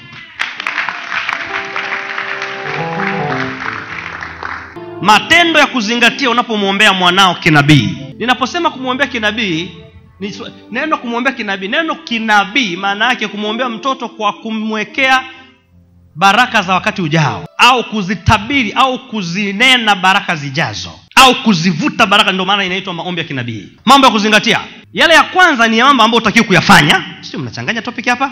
Naelewa yale ya kwanza utakiwi aya ya pili unapaswa kuyafanya. Unapomwombea mwanao. Namba moja lazima ufanye yazingatie yana muhimu. Unapomwombea mwanao na kumbariki ji, jizoeshe kumwekea kuweka mikono yako juu kwani mungu ameweka baraka kwa mzazi au mlezi kwenye mikono yaani yeye haijalishi mzazi anaenda kanisani au aendi kwenye mkono wake there is a blessing. Na ikiwa wewe ni mtoto na una wazazi maana nafahamu somo hili wanaliangalia pia watoto ambao wanajielewa au watoto wazima. Jitahidi mama yako au baba yako anapokubariki akuwekee mkono. Na kuna waf, kuna watumishi wengine wamewadanganya watu kwa kudhani baba yako kwa sababu ni mlevi ana baraka yako. Baraka ya baba yako na mama yako haitokani na tabia za baba yako. Baraka ya baba yako na mama yako alionayo inatokana kwa sababu ni mzazi. That is it. Mama yako anakuombea humwambia ukiwekee mkono That's big mistake. Babako anakutamkia baraka akuwekee mkono na umekaa tu hivi umesimama. Kwa sababu umekuja pale una magari matatu babako kijijini nakwambia mwanangu mungu akubariki. Asante baba. Unapita una, una, una unaenda chumba cha pili. Don't be stupid acha kiburi. Go kneel down nenda chini. Babako weke mikono juu. Kuna heri ya maisha marefu pale. Kuna heri utatoka kijijini unatoka huku utafanikiwa kwenye biashara That's why unaenda unawafyonza fyonza wazazi wako unaenda unaenda kijijini ukae ndani unaenda watu wote tunajua umeenda kwa mzazi wako unamwona mzazi siku moja siku zingine unakaa kwa marafiki siku zote unarudi hapa unapata hasara ki- kibandani kwako. Yaani kuna watoto wengine kuna watoto wengine wana mambo ya ajabu. Anatoka hapa anaaga anaenda kwa wazazi. Anamuona mzazi siku ya kwanza. Akishamuona kesho yake anaishi kwa marafiki zake. Anamuona mzazi tena siku ya kumwaga. Na mzazi kwa sababu ana hela umemwachia shilingi laki mbili anakuona wa maana. Hawezi kukufokea hawezi kukuuliza ni mtu mzima. Unaondoka bila mkono wa mzazi. Nasaidia watu mimi hapa. Mzazi anatakiwa kuweka mikono kwa mna- kwa mwanae. Sasa okay kuna huyu mzazi ambaye hajui kama anatakiwa kuwekea mikono. Hiyo labda tunasema lakini wewe una watoto na uwawekee na umenisikia sasa. Wengine unao humu ndani. Wawekee mikono sio mara moja sio mara mbili. Na unapojisikia una furaha unapojisikia una amani unapojisikia umeomba umefunga waite wanaoweka mikono wengine hawataki weka kuna maana kubwa kwa mzazi kuweka mkono kwa mwanaye. Kumwekea mkono ni uvuli. Kuna miujiza itatoka mbinguni nishakufundisha hili somo. Kuna miujiza itoki kanisani nishafundisha hili somo. Kuna miujiza kwenye mikono ya mzazi. Sasa wale ambao mmekusana na wazazi tafuta namna yoyote. Lisa usiniletee nani za ajabu ajabu. Mama yangu ni mlevi. Usiniletee nani za ajabu. Kama mungu, kama ulevi ndo ungekuwa ni tatizo basi usingezaliwa kuzaliwa kwako kuhusiani na tabia baba na mama na, na, narudia. Mwombea okoke yes mwombea abadilike yes lakini baraka zake haziji kwako siku akiokoka. Zinakuja kwako simply yeye ni mzazi. Hawa wawishi watu wote waelewe. Hawa wawishi wewe uelewe naona nitazama hawa wawishi uelewe mwanzo 48 mpaka 15 israeli akanyosha mkono wake wa kuume akaweka juu ya kichwa cha efraimu aliyekuwa mdogo na mkono wake wa kushoto akaweka juu ya kichwa cha manase. Huku akijua atiavyo mikono maana manase ndiye aliyezaliwa kwanza. Hii ishu ya manase na efrahimu kwa nini alipindisha mikono is not our topic for today. Topiki yangu ni kwamba huyu baba alikuwa anawabariki watoto. Hao watoto walikuwa ni wengine kama wajukuu kwake. Lakini akawa anawabariki. Lakini yeye kama baba hakuwa anawabariki tu wajukuu. Tunaelewa yakobo mistari mingine tumeona kule juu. Aliye kumbariki nani nimeonyesha alivyokuwa anawabariki pale wengine anawabariki vibaya wengine vizuri lakini kawaida yakobo alikuwa akibariki anabariki kwa mkono. Anaweka mkono juu. Na sio tu yakobo kibibilia baraka inatoka kwenye mikono. Na mzazi ana license ya kuweka mikono. Sio lazima awe na, ana bibilia hata kama ajui. Kuna kitu kwenye mkono wake. Na ndio maana yesu alisema watoto watoto. Mtoto anapokuwa na ile ile title mtoto anatakiwa kuwekewa mkono marko amini nawambieni yoyote asiyekubali ufalme wa mungu kama mtoto mdogo hata ingia kabisa. Akawakumbatia akaweka mikono juu yao akawabariki. So ni kawaida hata yesu alipoletewa watoto walibariki. Kwa hiyo kuna baraka ambazo zinatakiwa ziende kwa watoto. Okay yesu alisimama hapo kama baba wa kiroho ama alisimama kama mzazi wa kiroho but yale yote yale yale. Kama sisi ambao wazazi wa kiroho tunaweza kuweka mikono. Viongozi wa kiroho tunaweza kuweka mikono. Lakini mzazi wa kimwili anaweka mikono so ikiwa wewe ni mtoto hapa fanya juhudi zote babako na mamako akuwekee mkono. Wafanye wafurahi wakuwekee mkono. Kuna baraka kubwa sana kwenye mikono yao. Na kuna wazazi mna watoto amwekagi mikono kwao. Mna ile kwamba watoto wanawekiwa mikono na pasta. Sawa mimi na sehemu yangu lakini kuna baraka ya mzazi ambayo mtoto wako hawezi kuipata kwangu. Sina hiyo baraka anaipata kwako. Ngapo ameelewa mpaka hapa mambo mengine unapowabariki watoto unapaswa kujizoesha kumbusu mwanao na kumkumbatia. Ila hii izingatie pia mila zetu naweka hivyo kwa sababu kwa wengine itakuja kuleta shida. Kwa hiyo izingatie na mila zetu. Namna ya kumkisi namna ya kumbatia kuna wengine wanakisi mkono like this. Unaita mkono? Ana ukis like this. Mkono. Ya mnaweza kuangalia kulingana na jinsia na mila. We ujijue we mila kabila zetu zinasemaje? Naomba niliweke hili hivyo. Nisiliweke kama hivyo tu mkaja mka- mkapata shida huku kwenu. Kuna mwingine kwenye kabila yenu huwezi kumkumbatia mwanao wa kike. Inategemeana. Lakini mungu ameweka baraka katika kisi ya mzazi. Nimewambia tangu mwanzo anafundisha ukisema kisi mtu anawaza tu mpenzi wake mambo mengine mengine mnaojua nyinyi no! There is a special kiss kwa ajili ya mwanao. Kuna kuna kuna, kuna unaweza kumkumbatia mwanao lakini hii zingatie mila zetu pia. Ni eneo gani unalomkisi mwanao? Ni eneo unamkumbatiaje? Naposema mila kila mtu anajua mila zetu zilivyo. Kila mtu anajua tunakotoka. Kila mtu anajua anakotokea zingatia hivyo lakini haya mambo ni muhimu kwa mtoto kwa sababu huwa yanahamisha baraka kutoka kwa mzazi kwenda ndani ya mtoto wake. Na mtoto ana fili tofauti. Na watoto wengi wanakosa mambo kwa taarifa yako. Ndio maana nime- nimewambia hapo mkacheka mtoto mwingine ukianza kumfanyia hivi anajua mama au baba anakufa. Luka kumi na tano. Mwanampotevu alipo, mwana mpotevu alipokuja akamwambia babaye sistahili kuitwa mwana wako tena nifanye kama mmoja wa watumishi wako. Akaondoka akaenda kwa babaye. Alipokuwa angali mbali baba yake alimuona akamwonea huruma.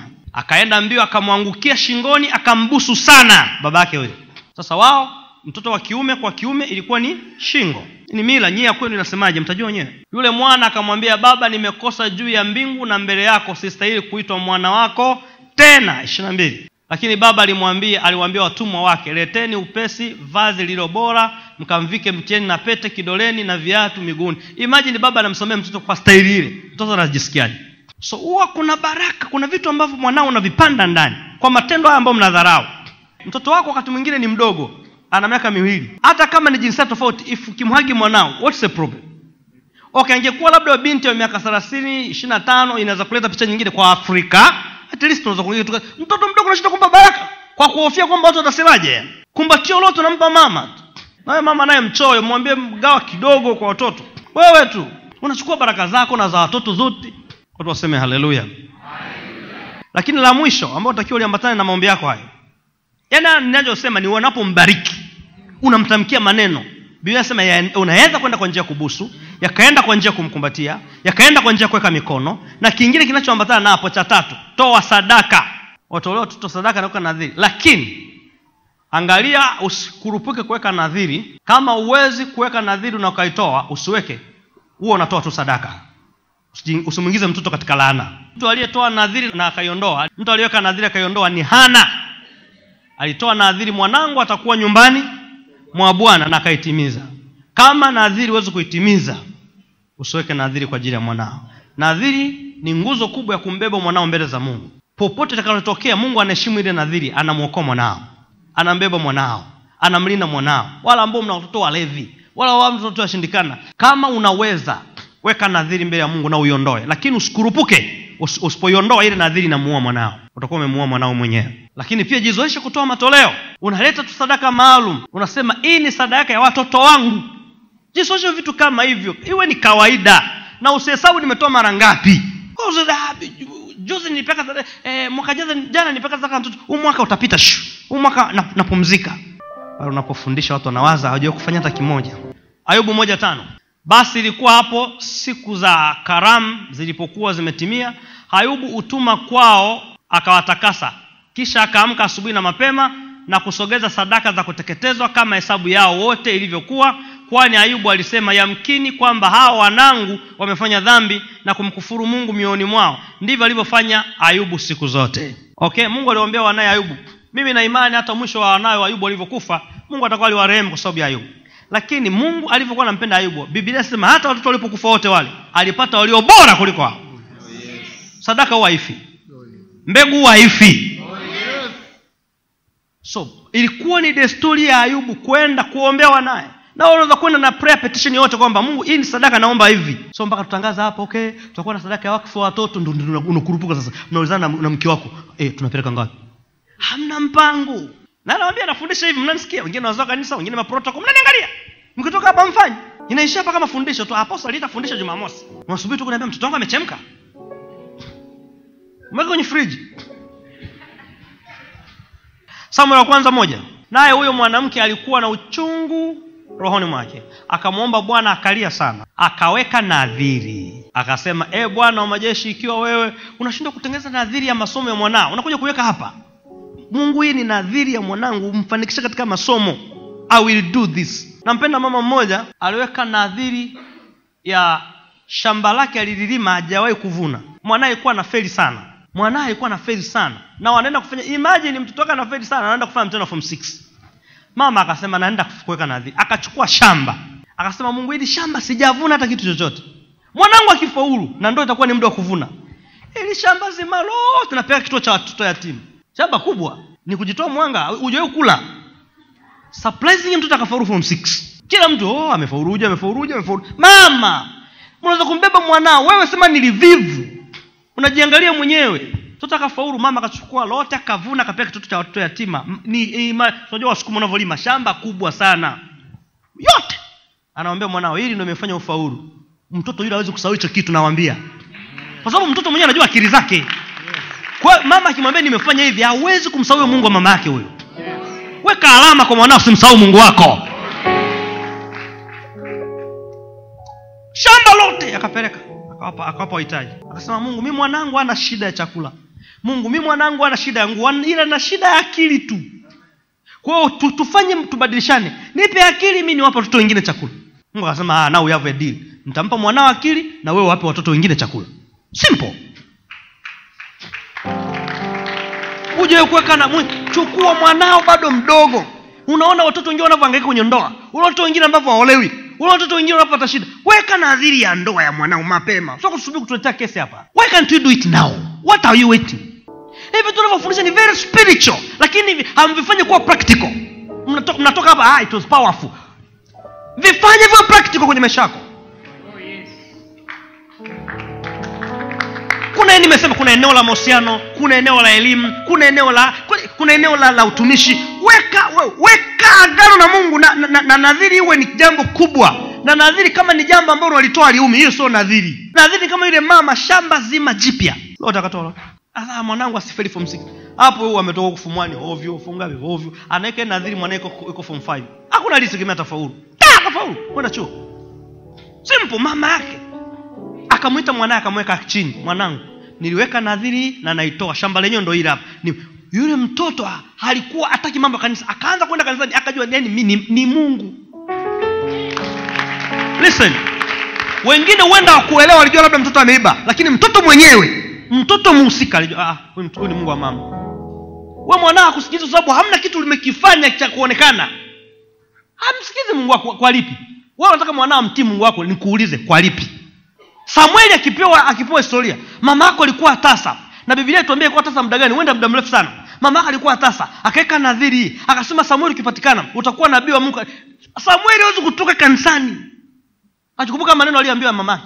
Nadhiri gani ah, wazazi wake nadhiri siku hizi. Haweki akiweka naweka zile za haraka hey, eh nimeka kwenye ndoa. Miaka mitano sina mtoto. Mungu akinijalia eh tafanya hivi. Usikurupuke nadhiri mtu akurupuki. Na uwe tayari kuitoa na usiweke naadhiri za kijinga mazaka mungu ukinifaniki mungu na, mwanangu nataka iwe hivi. Ila utakaponibariki huko mbele nitafanya hivi. Sio nadhiri. Huu ni utapeli. Nadhiri ni kile kilichoko ambacho ukipo na mungu anakiona. Nadhiri maanaake ni mkataba hicho hapo. Sio kwamba mungu naweka nadhiri ya milioni mia. Nitakapoipataga huko huu ni uhuni. Huu ni uhuni. Nadhiri ni kilichoko. Tena kile ambacho huenda ndio, chako cha pekee hiyo ndo nadhiri naijua mimi. Kuna mtu ashia kuweka nadhiri ya nyumba yake? Akasema kuna jambo likitokea alikuwa na kesi. Mungu naweka kesi imenengaisha miaka mingi. Naweka nadhiri hii nyumba. Hii nyumba nitaitoa. Mchungaji wao alikuwa anaga nyumba ya kuishi. Mchungaji akasema mimi mchungaji nimemwona anahangaika tatoa nyumba. Ah mungu anasikia haraka sana nadhiri. Mungu anasikia haraka sana. Mungu akamsaidia ile kesi. Hakumpa pasta nyumba. Akaanza kusema okay nitatafuta hela nitamjengea. Alifia mle kwa kuungua na moto. Tena moto wa nawacheza na mungu. Sicheze na nadhiri. Ni kushauri siweke acha kabisa. Yaani mungu amemshindia kesi ya miaka zaidi kumi na kitu. Anasema ile nyumba anampa mtumishi wa mungu. Baada baadaye akaanza no nitatafuta. Akamwambia mchungaji niweka nadhiri lakini nivumilie. Nitatafuta nyumba hera kidogo nikujengee. Una- na mungu? Yule mwanamke akamchukua mtoto alipomaliza kunyonya. Inakadiriwa miaka mitatu mpaka minne. Akamkabidhi hekaruni iliuma. Usidanganywe na mtu. Ilimuuma mwanamke. Alienda kalia nyumbani mwanamke ambaye akatoka mmoja tena alikuwa tasa. Alilia sana nyumbani lakini akasema kwa sababu ni mungu akamwacha kule. Hao ndo watu ambao mungu anawasikia. Sio wewe. Nadhiri za kijinga kijinga. Na mtoto yoyote anayebebwa na nadhiri mbele za mungu hawezi angaishwa na wachawi. Nadhiri na nguvu. Hakuna isimama mbele za samueli maisha yake yote. Biblia inasema mungu akuacha neno la samueli lidondoke. Maanake nini? Kila aliyolisema lilitimia. Unafikiri ni nguvu ya samueli? Mama yake watu wanafikiri ni nguvu ya samueli. Mama yake. Kuna vitu vingi unaweza kutengeneza kwa ficha mwanao lakini hamfanyi. Upo tu uko bize maisha ya siku ya leo ya ndoa. Mwanamke na mwanaume wako bize kwenye migogoro yao bize kwenye migogoro ya mambo yao. Lakini wanajishughulisha na watoto kwa sehemu ndogo sana. Sehemu kubwa ni mapenzi na migogoro yao. Acha ujinga mungu ameshabariki nimepata mtoto at- au watoto angalia future watoto. Sehemu kubwa maisha ni mme wangu amefanya hivi mke wangu kafanya hivi mke wangu hajapika mme wangu kaja sijamwona mme wangu. Yaani ni hapa mme wangu mke wangu mke wangu mna watoto acha utoto nyee mna watoto tayari angalia watoto. Najiangalia wenyewe mapenzi ya kinoga ili weje. Mkishazaa mentality lazima ibadilike. Wewe waulize mapasta maisha mengi wanawake wakuja kuomba au wanaume kwako ni nini? Ni mgogoro. Hii inakuonyesha hawataji watoto hii inaonyesha kabisa wanawaza maisha yao ubinafsi wa wazazi apate raha mewake aje mapema eh, arudi nyumbani mapema kama jogoo hivyo. Nachokiwaza lakini hawazi future watoto. Kuna kitu mzazi mungu amekuwekea kwa watoto wako kijacho anza kukishughulisha sasa hivi. Ongea na nani? Ongea nani? Sikusikii. Naongea nani? Naongea na mtu hapa. Nana na- nani ashushe mkono hapa amshe aseme umenifundisha kitu leo. Hiyo ni moja. Nana aseme nitaenda kutendea kazi nani alishusha mkono apandishe asema ee mungu nisaidie na hilo ndilo neno la mungu. Ongeza makofi ongeza makofi. Mikono juu mpigie yesu makofi. Pigie yesu makofi. Haleluya haleluya na hilo ndio neno la mungu mpigie yesu makofi